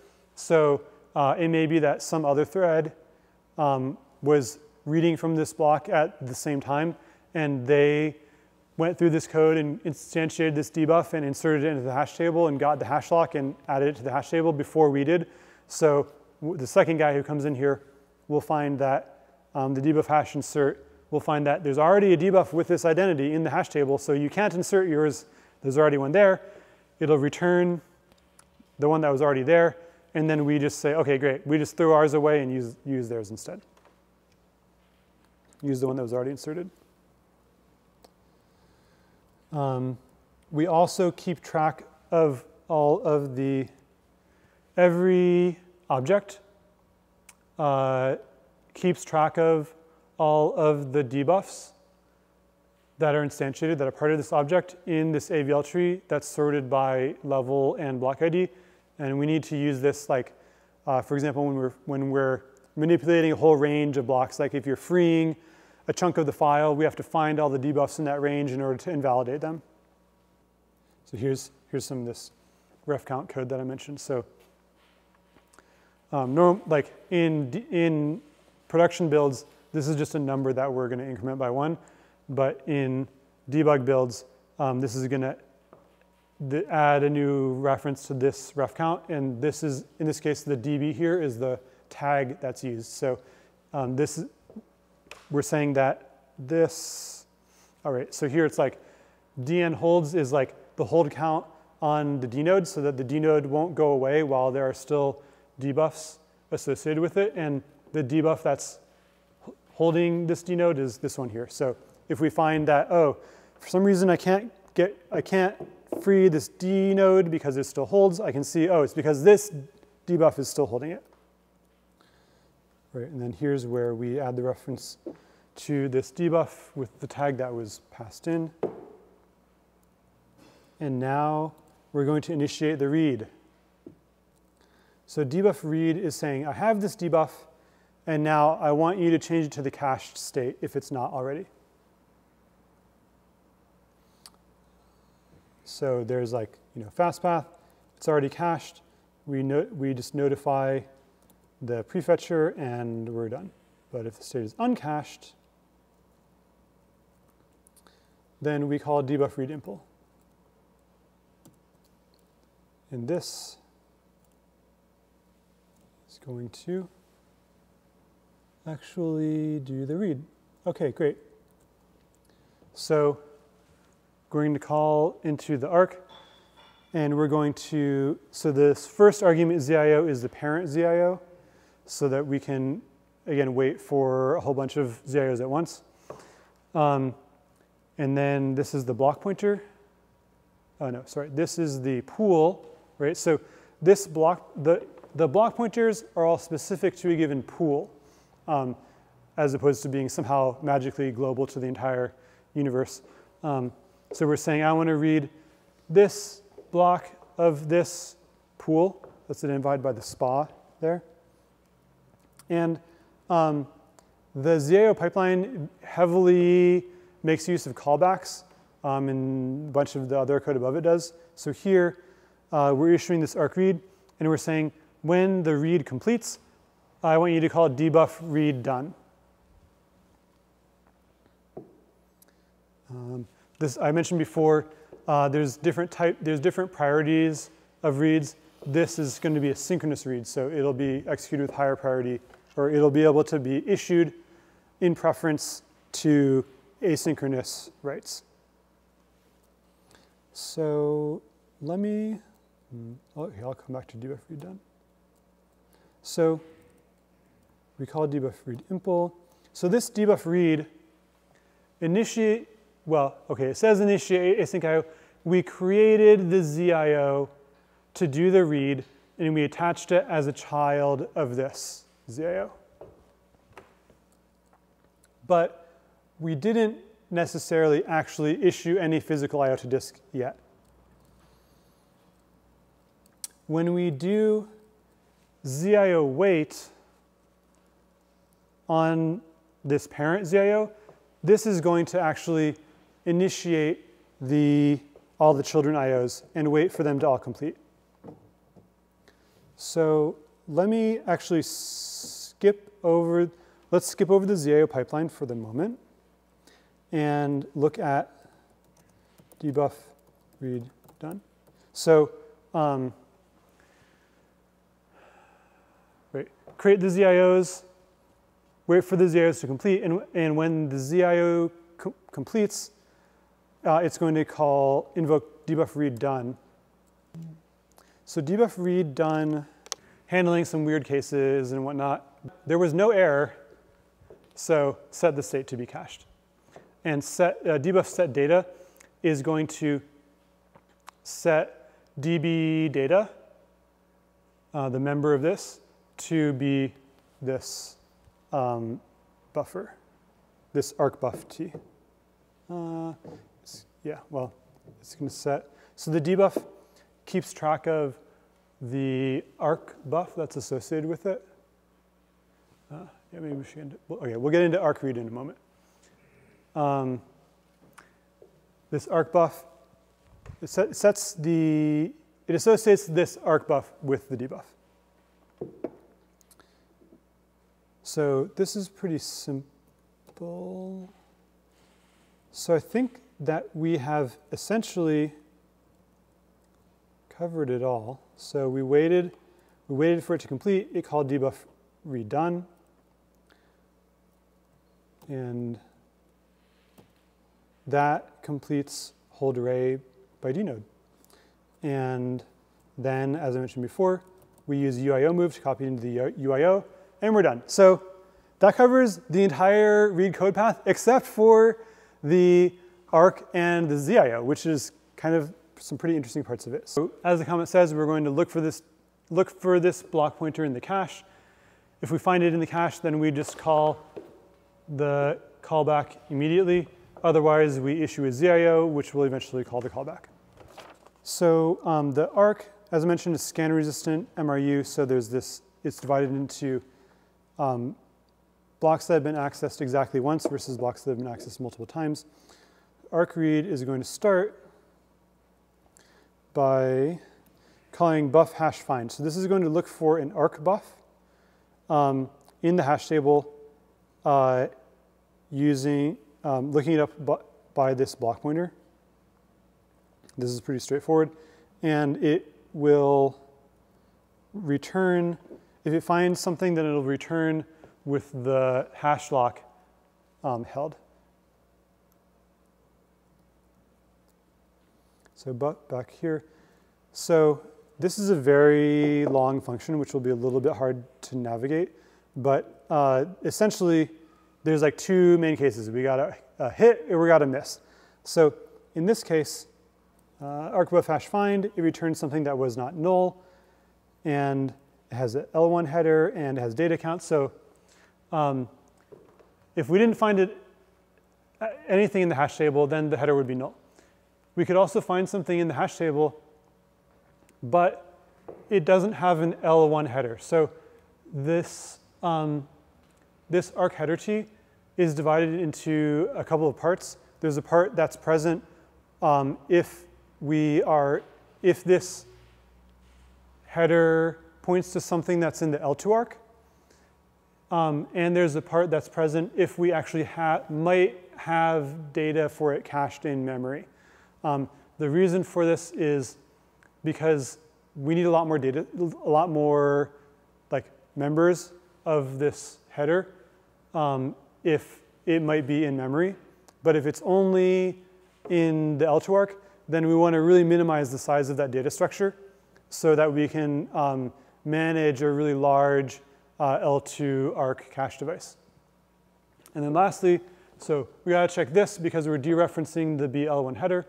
And then lastly, we check, um, are, is, are there any data buffers actually um, associated with this arcbuf header?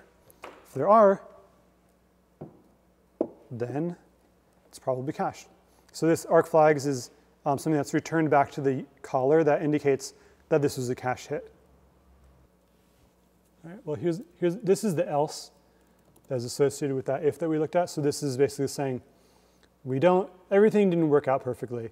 We don't have a cache hit. So here, there's a couple of different cases. One is the header might be totally null, in which case um, we need to create a new arcbuf header and add it to the hash table. Uh, that's what this is doing. That this is allocating the new header. Um, we may also have, so I mentioned that the arc is, um, uh, has these two components, uh, referenced once and referenced multiple times, and the cache, the memory is kind of divided into a chunk that's for accessed once, a chunk that's for accessed many times. Um, the amount of data that's devoted to each of those the two parts um, is kind of dynamically determined. And the way it's determined is based on hits in this ghost cache that's, referenced that's mentioned here. So the ghost cache is uh, a bunch of arc headers which tell us this is the data that was recently evicted from the ARC. So we keep track, we keep the ARC headers, but we throw away the data associated with them so that we know um, recently in the past, this data was in the ARC, and then we, if we get a hit on um, in this ghost cache, then we know whether it was a hit in the accessed once or the accessed many times um, part of the cache. And uh, basically, if we get a hit in the accessed once part of the cache, then we will increase the size of the accessed once cache a little bit. And similarly, if we get a hit in the ghost cache of the accessed multiple times, we'll increase the, um, amount of cache that we devote to data that's been accessed multiple times uh, and decrease the amount that's of memory that's used for data that's accessed only once. Um, so this is the ghost cache that we're talking about. This is how you get a buffer with an L1 header, but no data associated with it.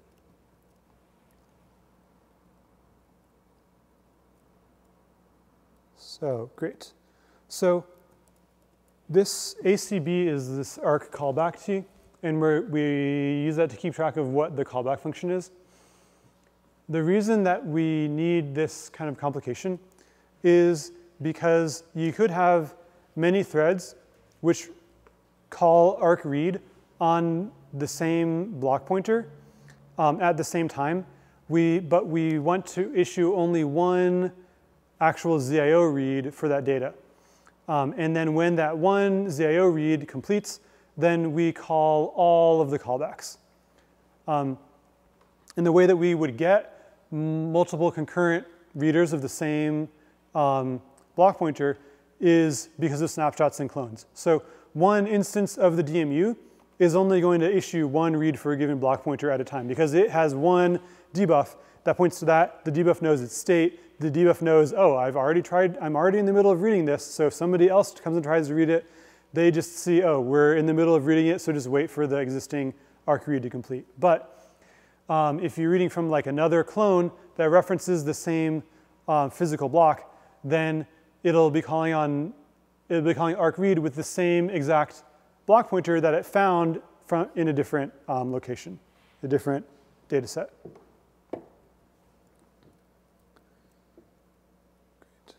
So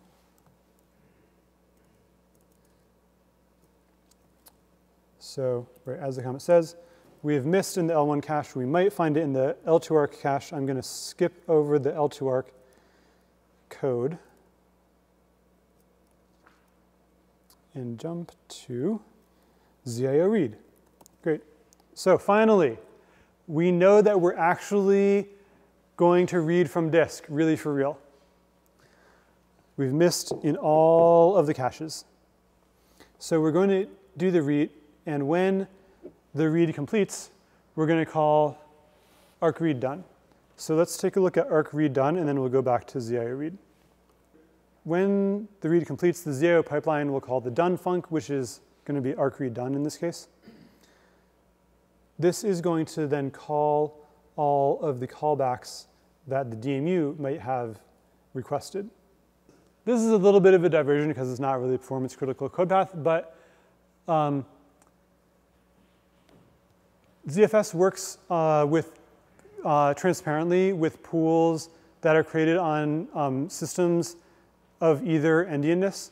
So, you know, uh, originally, you know, the main use case for ZFS was SPARC, and uh, then Sun also supported uh, Intel. SPARC is big endian, Intel is little endian. Um, mo most typical file systems, uh, you know, even if like FFS runs on FreeBSD on you know, both of those platforms, but you can't move a file system from big endian to little endian because um, you know, the, the, metadata in FFS is stored in that big or little endian format. Um, and so ZFS does basically the same thing where it stores the data on disk in whichever endianness um, this, the system that you're running on is using, but it keeps track of every block, which endian it was used to write that block. So um, any of the ZFS metadata uh, would have a func that's not null that will know how to swap the byte order of every of all the metadata that's in there. So you can have a pool, you can use it on SPARC, you can then use it on x86, you can move it back to SPARC, and it knows for every block which platform it's written on, and then whether or not it needs to do this byte swapping. So because this is happening in the ARC done callback, therefore we know that all the data that's cached in the ARC is stored in the current host's by order, regardless of how it's stored on disk. If there are multiple um, callbacks. Each one of them gets their own copy of the dbuf. uh, well, each of them has their own dbuf, and they get their own copy of the data that's in the arc. So the arc header is a data structure that's specific to like this, um, this physical block on disk, in other words, this block pointer.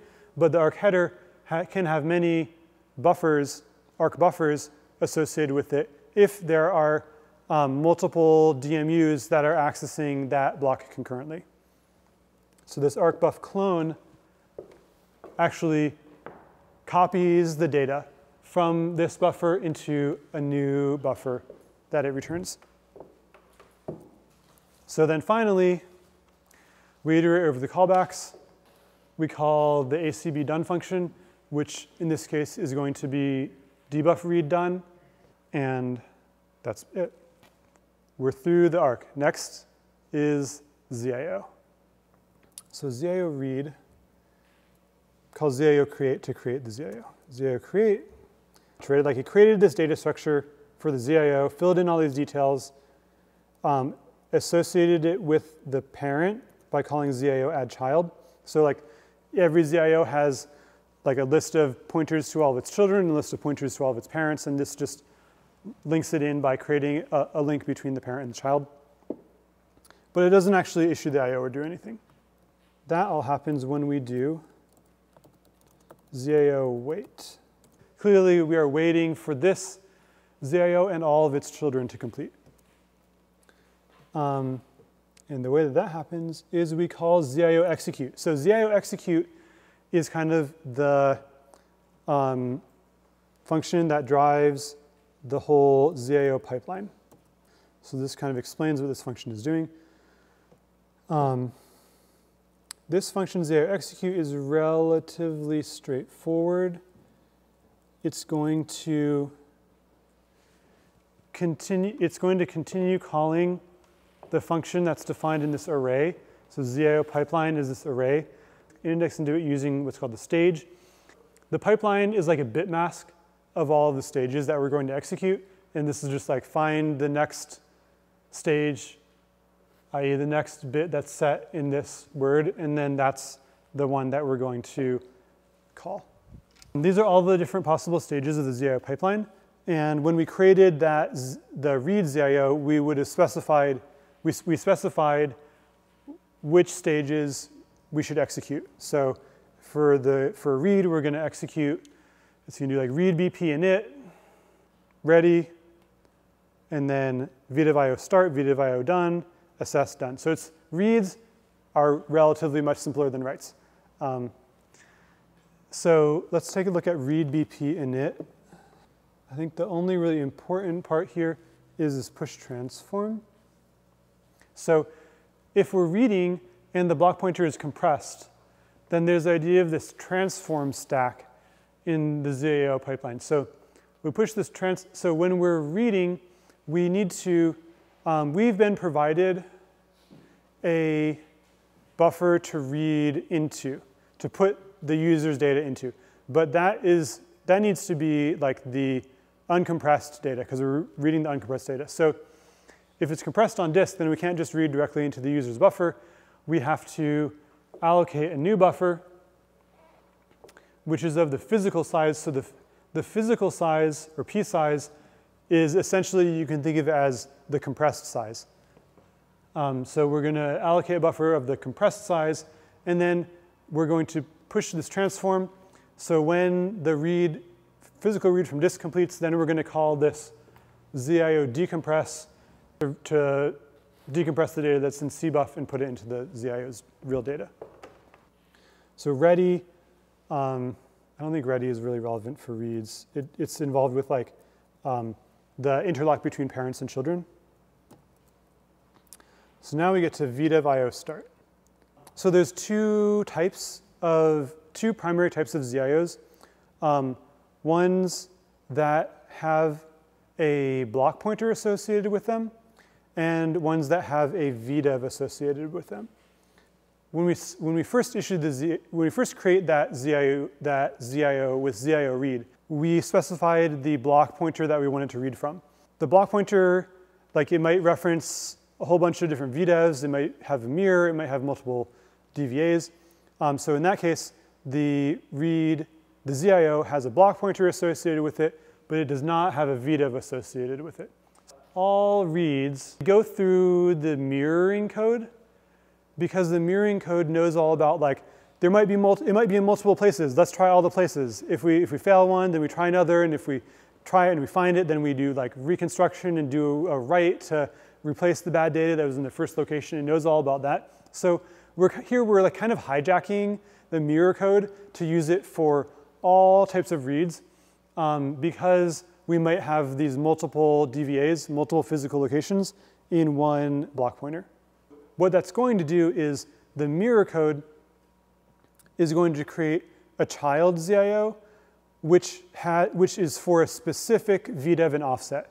So right now we just have uh, like a logical ZIO which is associated with the block pointer, but we might need to create one or, or more um, physical IOs, which physical IOs meaning ones that have a VDEV, specific and offset associated with, associated with them. VDEV mirror IO start, the type is a read. This mirror map um, tells us all of the possible locations that we could find this data. So this tells us all the possible locations. We figure out which of the locations we're going to try first. And then right, we do ZIO VDEV child IO to create this new child IO that's now going to be associated with a particular VDEV, MC VDEV, and particular offset, MC offset. Uh, yeah, the MC is the um, member of this mirror map. And when this completes, then we'll call VDEV mirror child done. VDEV mirror child done is going to figure out like, oh, was this an IO error? If this is an error, you have to try somewhere else. When we create the child ZIO, which has a specific VDEV and offset, we're going to come back, that ZIO is going to come back here into VDEV IO start, but now VDEV will not be null. If the VDEV that we selected was not a leaf, so for example, first we select one of the DVAs, that's going to tell us, okay, great, I want to read from VDEV 1, this offset. But that VDEV is just saying, um, that VDEV is like an abstract VDEV, it's not a leaf VDEV. In other words, that could be like a mirror or a RAID Z. So in that case, that is not a leaf VDEV. Only, we only, like you can only do IO to leaf VDEVs because only leaf VDEVs are physical devices. Other VDEVs are like mirrors or RAID Z where there's some abstraction above the actual physical hardware. So um, like if, let's just say for example, this was RAID Z. I won't go too, into, too much into the RAID Z code because it'll take forever. But like if it was RAID Z, then what would have happened is we, we selected like VDEV2, but this is not a leaf. So we go down here to this particular VDEV's, we call this particular VDEV's IO start function. And then that like might be VDEV RAID Z IO start. So it's going to create child ZIOs to read from each of the, each of the actual leaf VDEVs that are part of this RAID Z. And then um, when all those complete, then there's going to be like a, call, uh, a, done callback that will reconstitute the data and like copy it back to be all contiguous. Um, and it's going to do that by doing, uh, well, it's going to cr create those ZIOs just like we saw before with um, ZIO VDEV child IO. And here it's passing in CVD, which is some child of the RAID Z VDEV, which is hopefully finally a leaf VDEV. ZIO VDEV IO start. And finally, we're working on a, v, on a ZIO, which is a leaf ZIO. It is a leaf. It is a read. We still haven't issued anything. We still maybe are not going to actually uh, issue this to the physical disk because we call VDEV QIO. This calls into the VDEV queuing code. So here, remember this, this ZIO is associated with a specific leaf VDEV. That leaf VDEV, we might be, there might be a lot of other ZIOs trying to do IO to that disk, right? That's like a physical disk. And the physical disk can only do, like if it's a spinning disk, it can only actually do one thing at a time. Um, we can give it more things to do, but it can physically only do one thing at a time. So there's not much point to giving it more than one thing to do at a time. So we only give it a few things to do at once so that we can use our sorting and priority logic to issue the IOs in um, priority order based on the synchronous versus asynchronous, and also in, um, uh, in LBA order, so uh, like sorted by the offset on disks so that the disks doesn't, the disk doesn't have to seek its head too much. So we call into VDEV queue. We say, basically this, this routine says enqueue this ZIO into the queue and return the next ZIO that we actually want to issue to disk. So this might be the same as this, or it might be different. But we get the ZIO that we actually want to execute, which might not be the one that we were running before. And we call VDEV up IO start, but this time it's on a leaf VDEV. So this is different on each platform uh, because like, uh, you know, on FreeBSD, it's interfacing with the geom layer. On Illumos, it's interfacing with a different thing called BDEV. It sets up the BIO and tells it here's the done, here's the callback that I want you to call when it's done. And finally, we're out, out of ZFS, calling into, into the geom layer to actually issue the physical I.O. to the hardware. And below that, there's probably another million lines of code that are not part of ZFS, so I'm not going to get into. Um, when the I.O. completes, it's going to call VDEV geom I.O. inter. And then, OK, so so what we saw so far is like we called all this stuff, we call down into the geom layer, and then we return. So basically at this point, um, there's no code executing, right? So like we did ZIO execute, the ZIO execute is gonna be like, great, I executed your, your thing, everything is done. Now I will never deal with your ZIO, like ZFS, from ZFS's point of view, it's like, I'm never dealing with that ZIO ever again until some other subsystem tells me to. The way that that happens is the geom subsystem calls this callback. So when the actual physical I.O. from the disk completes, then the you know, hardware issues an interrupt to the CPU, and then a bunch of you know, SCSI code runs, and then a bunch of geom code runs, and then finally it'll call this function in ZFS, telling us that our ZFS I.O. has completed. And if it was successful, then we call ZIO interrupt. Um, it dispatches the ZIO to the task queue. This ZIO task queue dispatch. And the callback function is like ZIO execute. Yeah, great. So it's going to do task queue dispatch. So we're going to resume execution on some other thread that's part of this task queue, running, again, our friend ZIO execute. But this time, the stage will be different. And the pipeline will now, so we just got all the way through ZIO VDEV IO start of all the different ZIOs um, that would be part of this read. So now the next stage is ZIO VDEV IO done. There's a bunch of stuff about like interlock. So this is where we would have to wait for child ZIOs to complete. So for um, I guess in this case, we're talking about a leaf ZIO, so there wouldn't be children, but eventually we're going to call up and then, like in that example, the ZIO, the RAID Z read would wait for all the um, children uh, from the physical disk to complete. This was for a specific VDEV because this is a physical ZIO. And it was a leaf one, so it wasn't just to the RAID Z, it was actually to one of the physical disks that part of, that's part of the RAID Z and it was, it was like a you know, read or a write, then we call VDEV QIO done. This tells the queuing logic that this ZIO has completed, so the next time, it's basically it's removed from the queue. Checksum verify is very relevant, is only relevant for reads.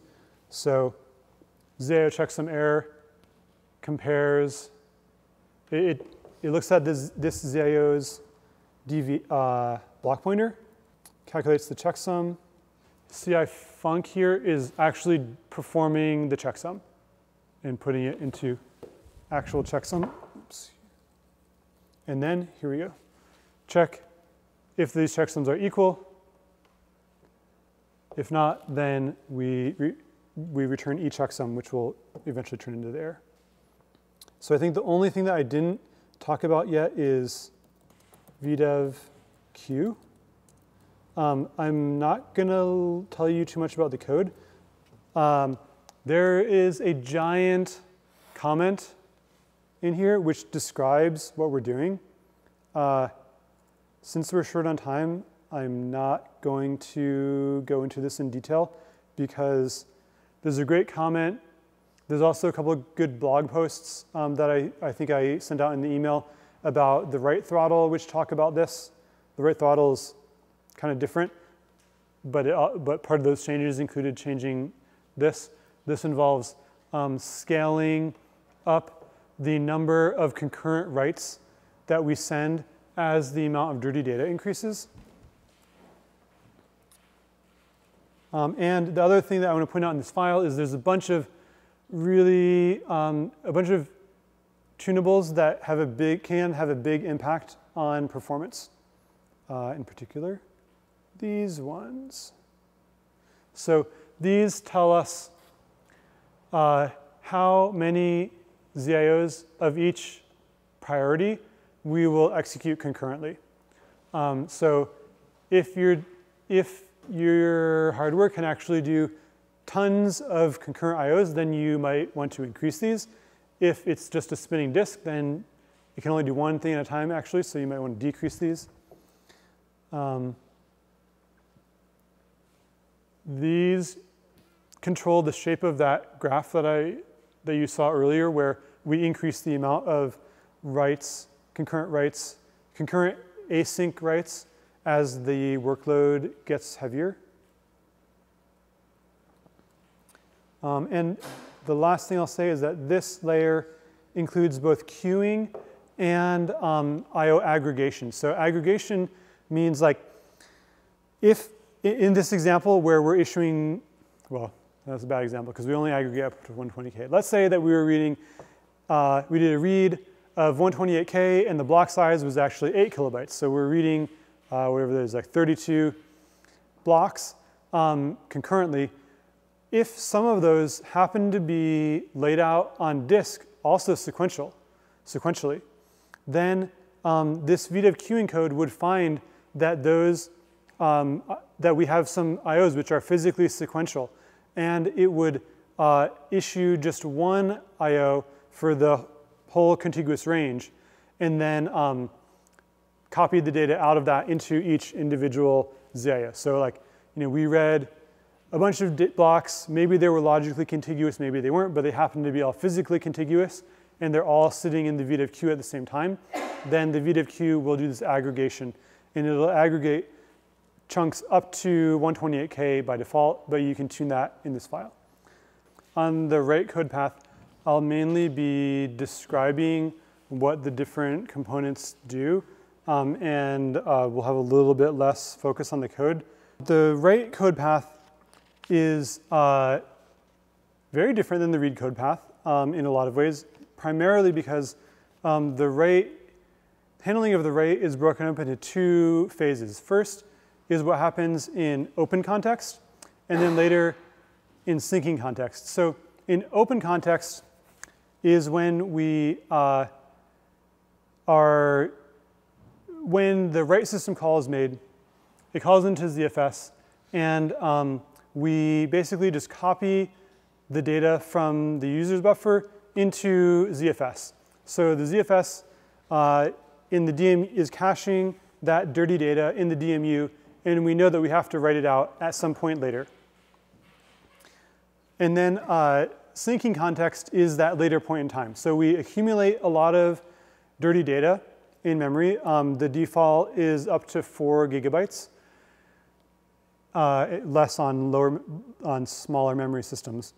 Um, but we uh, accumulate this dirty data in memory and uh, when, when, we're, when we're writing it out, we do it in this big batch. We issue lots of ZIOs, and uh, that involves, so essentially you can think of it as like in open context, we're coming down through the ZPL and storing the data in the DMU.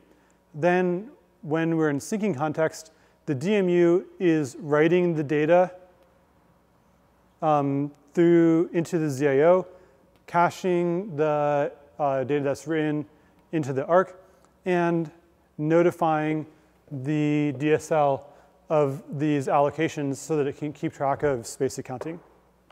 So just like ZFS read, ZFS write is analogous to it.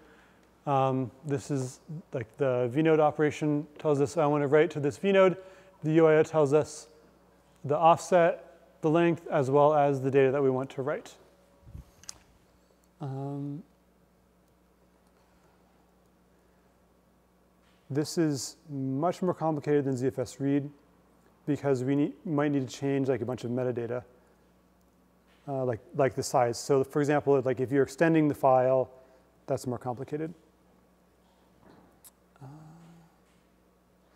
so this is the range locking code, corresponding range locking code with the RL writer this time. Similar like what we saw with ZFS read.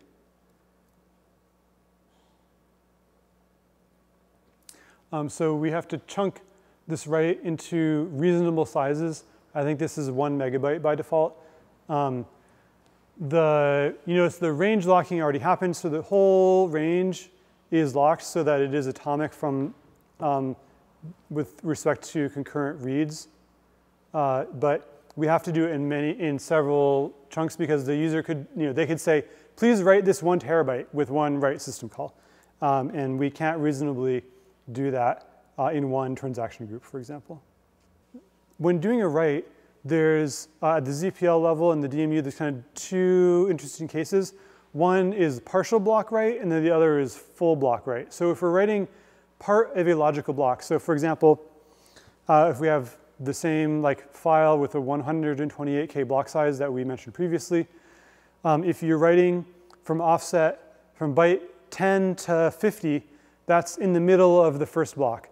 So we have to first read in the contents of that block, change the middle part of that block, and mark it dirty. Uh, but if we're writing to from offset you know, 0 to 256K, then we're writing the two entire first blocks of the file, so we don't have to read them in from disk at all. We just have the new data, associate that new data with those dbufs, and write it out market dirty. So uh, in the interest of time, I'm going to fast forward through a bunch of this, but this transaction is the way that the ZPL interacts with the DMU and tells it, I'm going to be making these modifications. It asks the DMU, is there enough space for me to do that? Um, if there is, then we're allowed to continue. Uh, so the DMU, this this is telling the DMU what we are going, what we will modify, and then this is telling it, the assign is saying, um, wait for the next transaction group that I, that's available if necessary, and return an error. The error might be ENOSPC.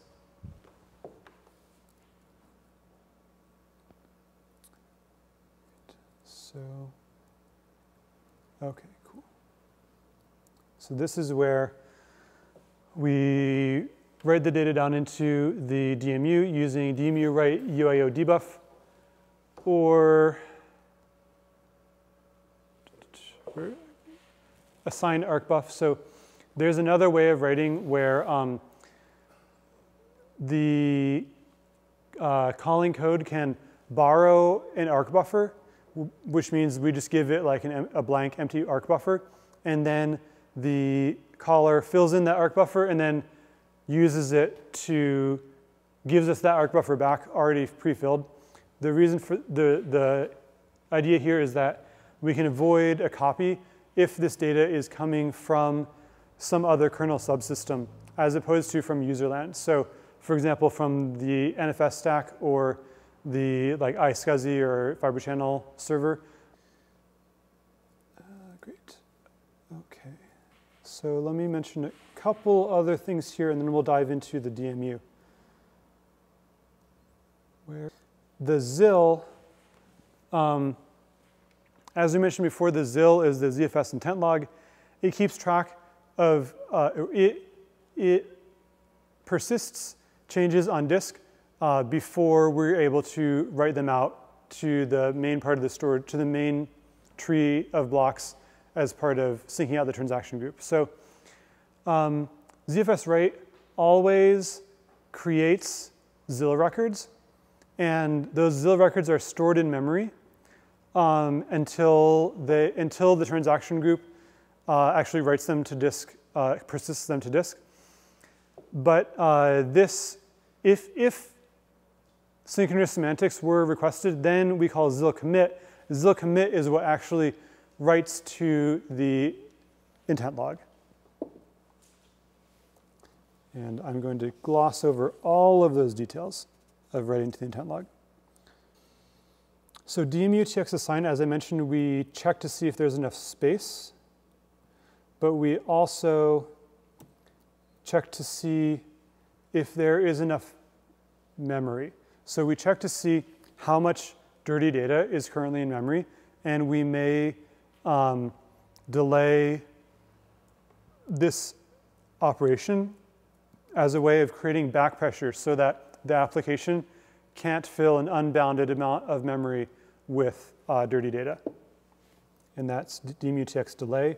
This is one of the comments that I assigned.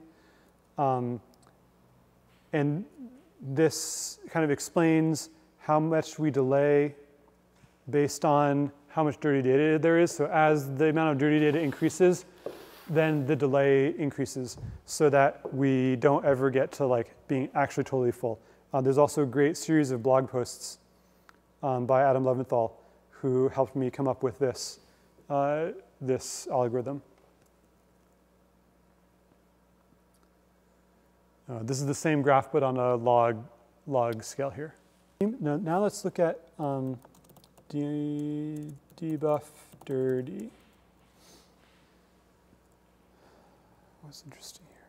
So dbuf dirty is basically just marking this dbuf as being dirty. The one thing I'll note here is um, we might need to keep track of multiple versions of this dbuf's dirty data. So uh, when, whenever we're doing a transaction, uh, you know, we do this dmutx assign, and the reason it's called assign is because it's assigning this transaction to a transaction group. And that's determining when these changes will be persisted to disk. It's always assigned to the currently open transaction group. Um, and you know, the, the, the open transaction group is always advancing so that we can write stuff out. So basically there's like a limit of there can be this much dirty data in the open transaction group uh, before we switch to the next one and start writing out the, uh, the current one. Uh, and uh, because of that, if you modify the same block um, several times uh, in quick succession, then you know, some of those writes might go into the same transaction group, in which case we just overwrite the data in memory because we don't need to keep all the different versions of it. But if it's modified as part of a different transaction group that uh, is, then we need to keep track of both the data that we are going to write to disk as part of transaction group 7, let's say, and the data that's now dirty as part of transaction group 8. There's two different, version, two different uh, copies of it, and these dirty records are what keep track of uh, those several different versions. Uh, and and because because of this multiple version possibility, um, a given block can only be dirtied either in open context or in syncing context.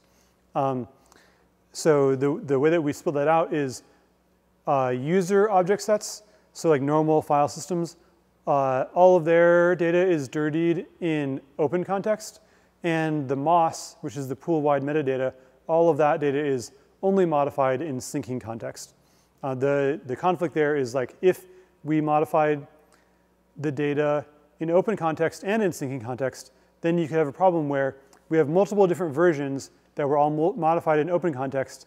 Now we get to syncing context. Which version of that do you want to modify, right? Like I can modify the one that's currently syncing, but that doesn't change anything about the future one that is going to be written in the next transaction group. This is all. Ah, okay.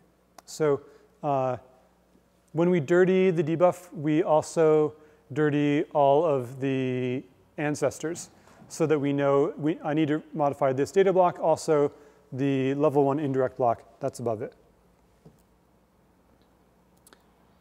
And that basically concludes what happens in open context. So this is relatively simple, uh, at least from a performance point of view. We're just copying the data into the DMU and marking this stuff dirty. Okay, so now let's take a look at what happens in syncing context. So SPA sync is like the top level function that gets called from syncing context. So there's a thread that's called the sync thread that's always running, and uh, it's uh, it's called like txg sync thread, and it just waits to see, oh, do I need to sync out another transaction group?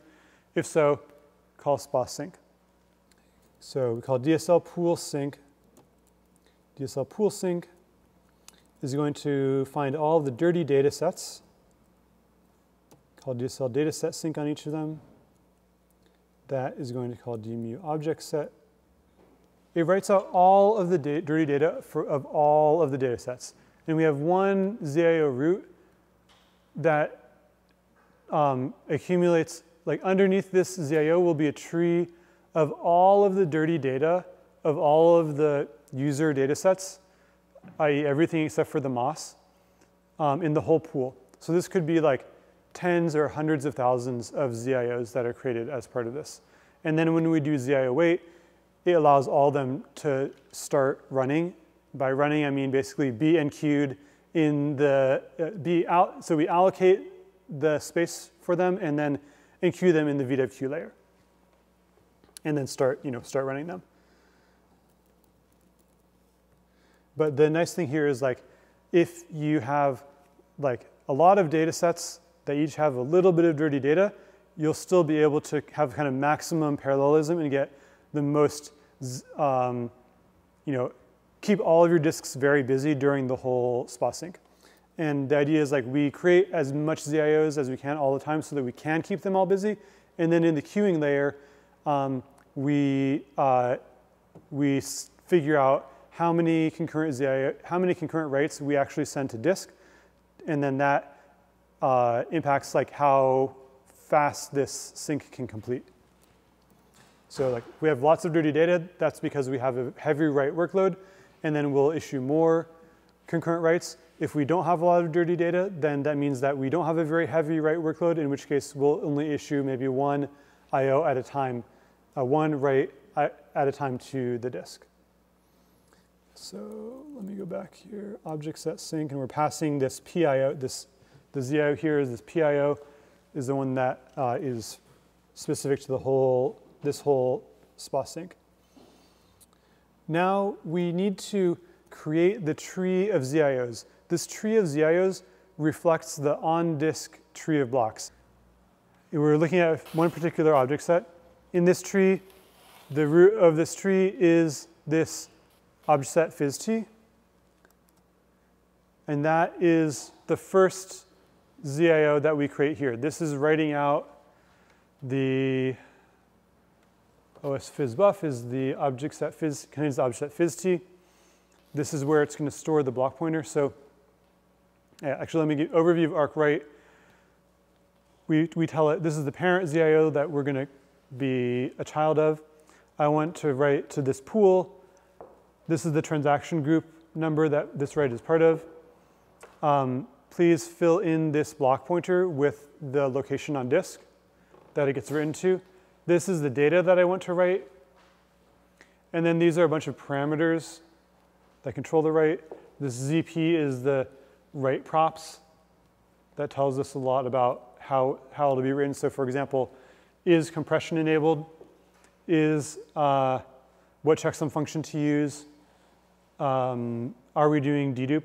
And this is, this is set by this dmu write policy function, which figures it out based on the object set that we're writing to. Um, when the write, there's a couple of callbacks here. So when the write completes, we call dmu object write done. When the write is ready, we call this function. Um, in this case, what, what ready means is that we are ready to issue this I.O. to disk, but we haven't issued it yet. We're ready when we have allocated all of the blocks beneath this. Um, the reason is that when, uh, at this point in time, when we do this arc write, we don't actually know what the contents of this block are going to be because this block, inside of it is a block pointer to the block below it that we also might be modifying.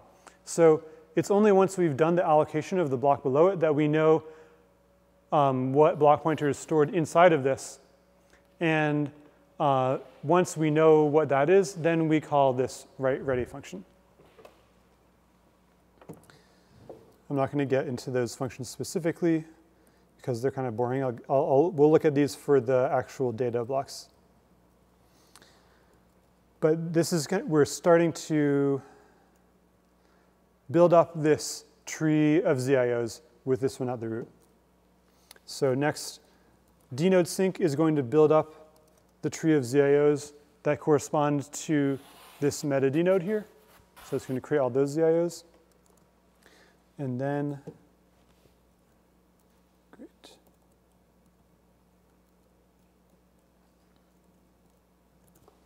And then this is going to create all the ZIOs for all the regular file data. So each of these files. And then, uh. ZIL sync tells the ZIL that um, we don't need the contents of the ZIL up to this transaction group anymore because we are right we are persisting them to disk uh, through the normal way. And then ZIO no wait says I'm not waiting for these ZIOs, but I've created all of the ZIOs under this tree, so you can go ahead and start doing the allocations and start issuing them to disk. So now let's look at sync dnodes. And let's see, I think I want to fast forward to this calls dnode sync on all of the dirty dnodes, so each dirty object. And then this is going, this is pretty complicated, but there's, because there's lots of metadata that could be changing about the object, but then it calls dbuf sync list which finds the dirty dbufs and calls dbuf sync. So first we're going to call dbuf sync indirect for each of the levels, and then finally dbuf sync leaf. Then we call dbuf write. Um, finally, we're going to call arc write. Same type of parameters that we saw before. Uh, this is the block pointer that will be filled in. This is the data that we're going to write. Here the properties that specify compression, algorithm, and stuff like that. And then write ready callback and write done callback. Oh, and there's another callback here called write phys done, which Which is uh, used to keep track of how much dirty data there is and feed into the uh, the write throttle code. But I won't go into more detail there. As we mentioned before, the DSL keeps track of uh, space accounting. And the way that it does this is with DSL dataset block born. So we're telling the DSL that this block was born. Uh, and it's part of this data set, and it was born in this transaction group. So this is updating a bunch of accounting. So we know like this is how much space, this is the space accounting associated with this block. This is like the compressed size, the uncompressed size. We're going to add that all into the data sets um, on disk state.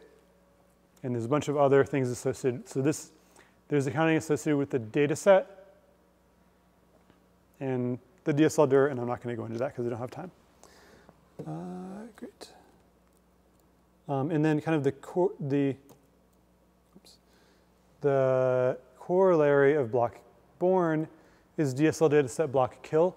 So um, I'm not going to get too much into how we free blocks, but when we, when we free blocks, it'll call DSL dataset block kill, which will decrement that accounting and also keep track of um, this is where we figure out should we free this block because there's no snapshots that reference it, or should we, um, or we can't free it because it's part of a snapshot. And this is that check about the birth time compared to the previous snapshot's birth time that I mentioned, that I mentioned earlier. We saw where we called into the arc to do that, right? Um, the arc basically just passes it, passes that call through down to the ZIO, right? And then adds its own callback so that it can cache the write once it completes. Um, the ZIO works kind of the same way where we have you know, the pipeline, we're going to use ZIO execute just like for read, but the stages that are involved are going to be very different for a write. So the first stage that we're going to hit is ZIO issue async. And that causes the ZIO to be um, processed by a task queue thread. So um, the reason for that is mainly this stage, which we're going to execute very soon, which is checksum generate, um, which actually you know, generates the checksum of the data. And this can be slow because it has to look at all the data in the block. So you know, if we didn't issue async, then we would have this one thread, you know, the SPA sync thread is, is creating all these ZIOs. We don't want to just have one thread trying to checksum all of the data in the whole storage pool. So we issue async so that we can use a whole bunch of threads that are in the ZIO task queues to uh, execute these further stages. So first one is write BP init. Write BP init, we do um, compression uh, in a later revision that's broken out into a different stage. Uh, and it, uh, it does a bunch of high level checks like around do we need to be doing dedupe and things like that. Um, checksum generate is going to perform, like calculate the checksum. Next important one, DVA allocate. So this is where we um, actually figure out where we are going to write this on disk. So we're allocating a data virtual address. And then the ZIO is ready. So this is this ready stage is where we uh, wait for any children and notify our parent that we uh, that we are well we, we call the ready callback to indicate that we are ready and then we notify the parent that hey this child is ready so maybe now you're ready or maybe maybe you aren't we kind of decrement the count of people that the parent is waiting for. And then we get to the same kind of stages that we saw with read, like IO start, um, to, which will uh, enqueue this write in the VW layer. And then when the IO completes, we'll call IO done.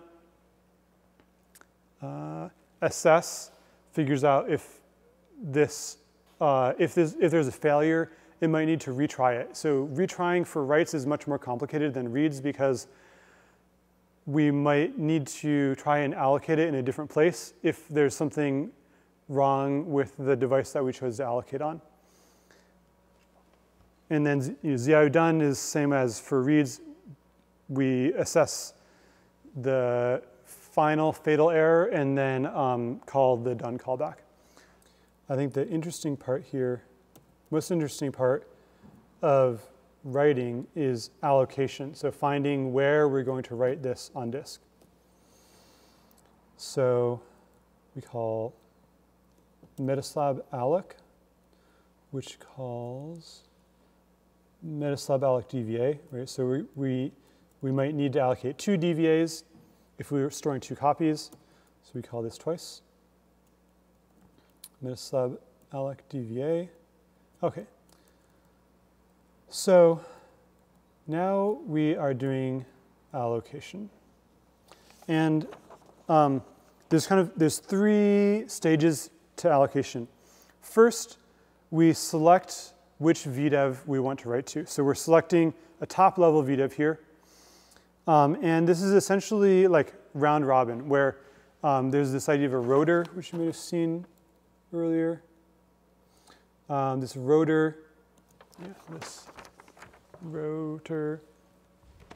Um, like all of the top level VDEVs are on like a doubly linked list, and we walk through them, allocating it, some from this VDEV, and then some from the next VDEV, and then some from the next VDEV. But we uh, take into account how much free space there is on the VDEV, and also uh, we take into account how many uh, how many blocks we have allocated on this VDEV that haven't yet been written. So in other words, how many writes, how many of these async writes have I queued to this VDEV already?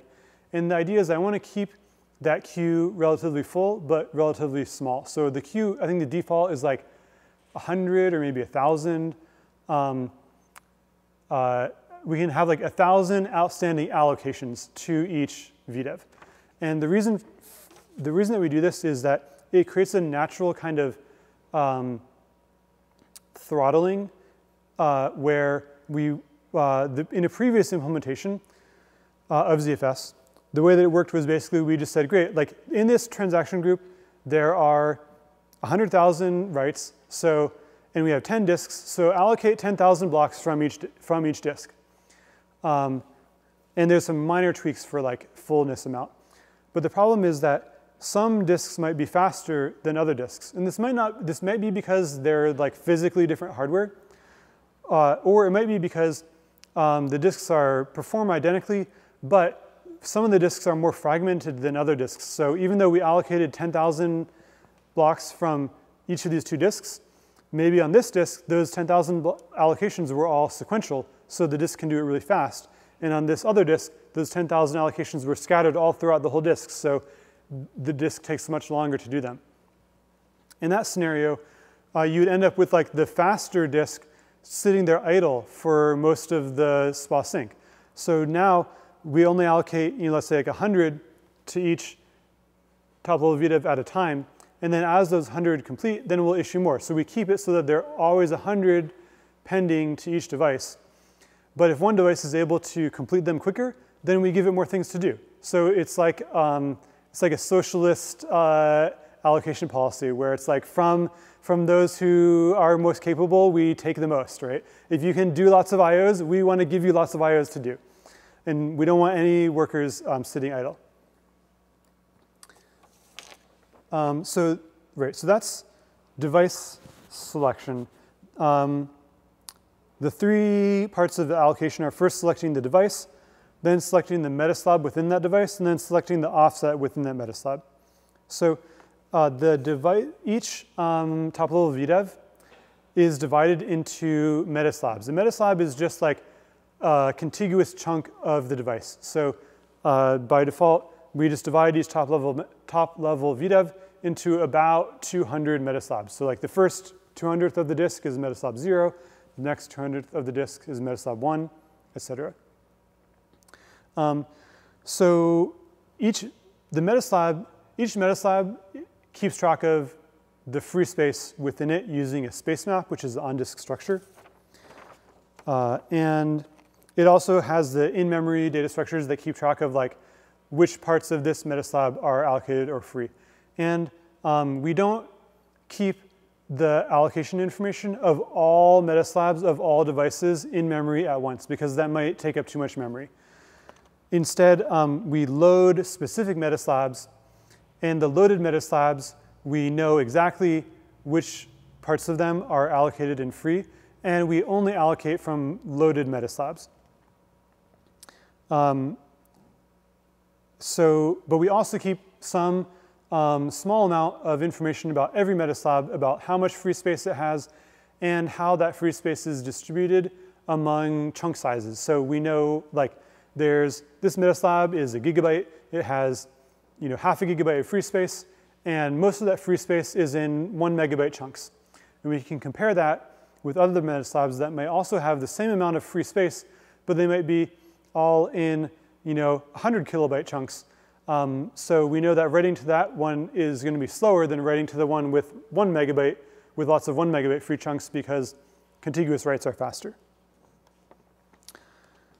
Right, so we select this, we select the metaslab based on this um, fragmentation weighted fullness metric. Uh, and uh, we periodically reevaluate uh, which metaslabs should be loaded also based on this uh, fragmentation weighted fullness metric. Once we've selected a metaslab, then we select an offset within that, within that metaslab by looking at the AVL tree, which lists the exact ranges that are free in, in it.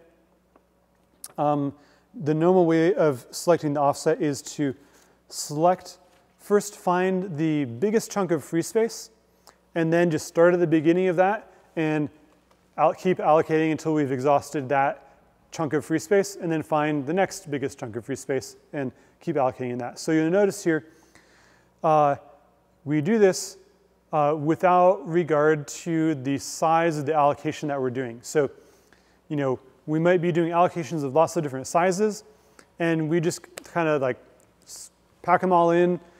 Um, and because of that, like when you free up data, it can create lots of holes of various small sizes, um, which can become, which creates fragmentation, which can become problematic to free up later. Um, and that is reflected in these fragmentation weighted uh, free space metrics that we use to choose which metaslabs to allocate from. Definitely, there's a lot more stuff that we could cover in terms of writing, but I think uh, the main takeaways are, you know, open context. We just copy the, the dirty data into the DMU. Syncing context, we write it all out. And uh, that's, you know, the DMU finds all the dirty data, creates the ZIOs. The SPA does this allocation um, that we just covered. Okay, my, my, brain is also, my brain is empty because I've emptied it out. Thank you, everyone.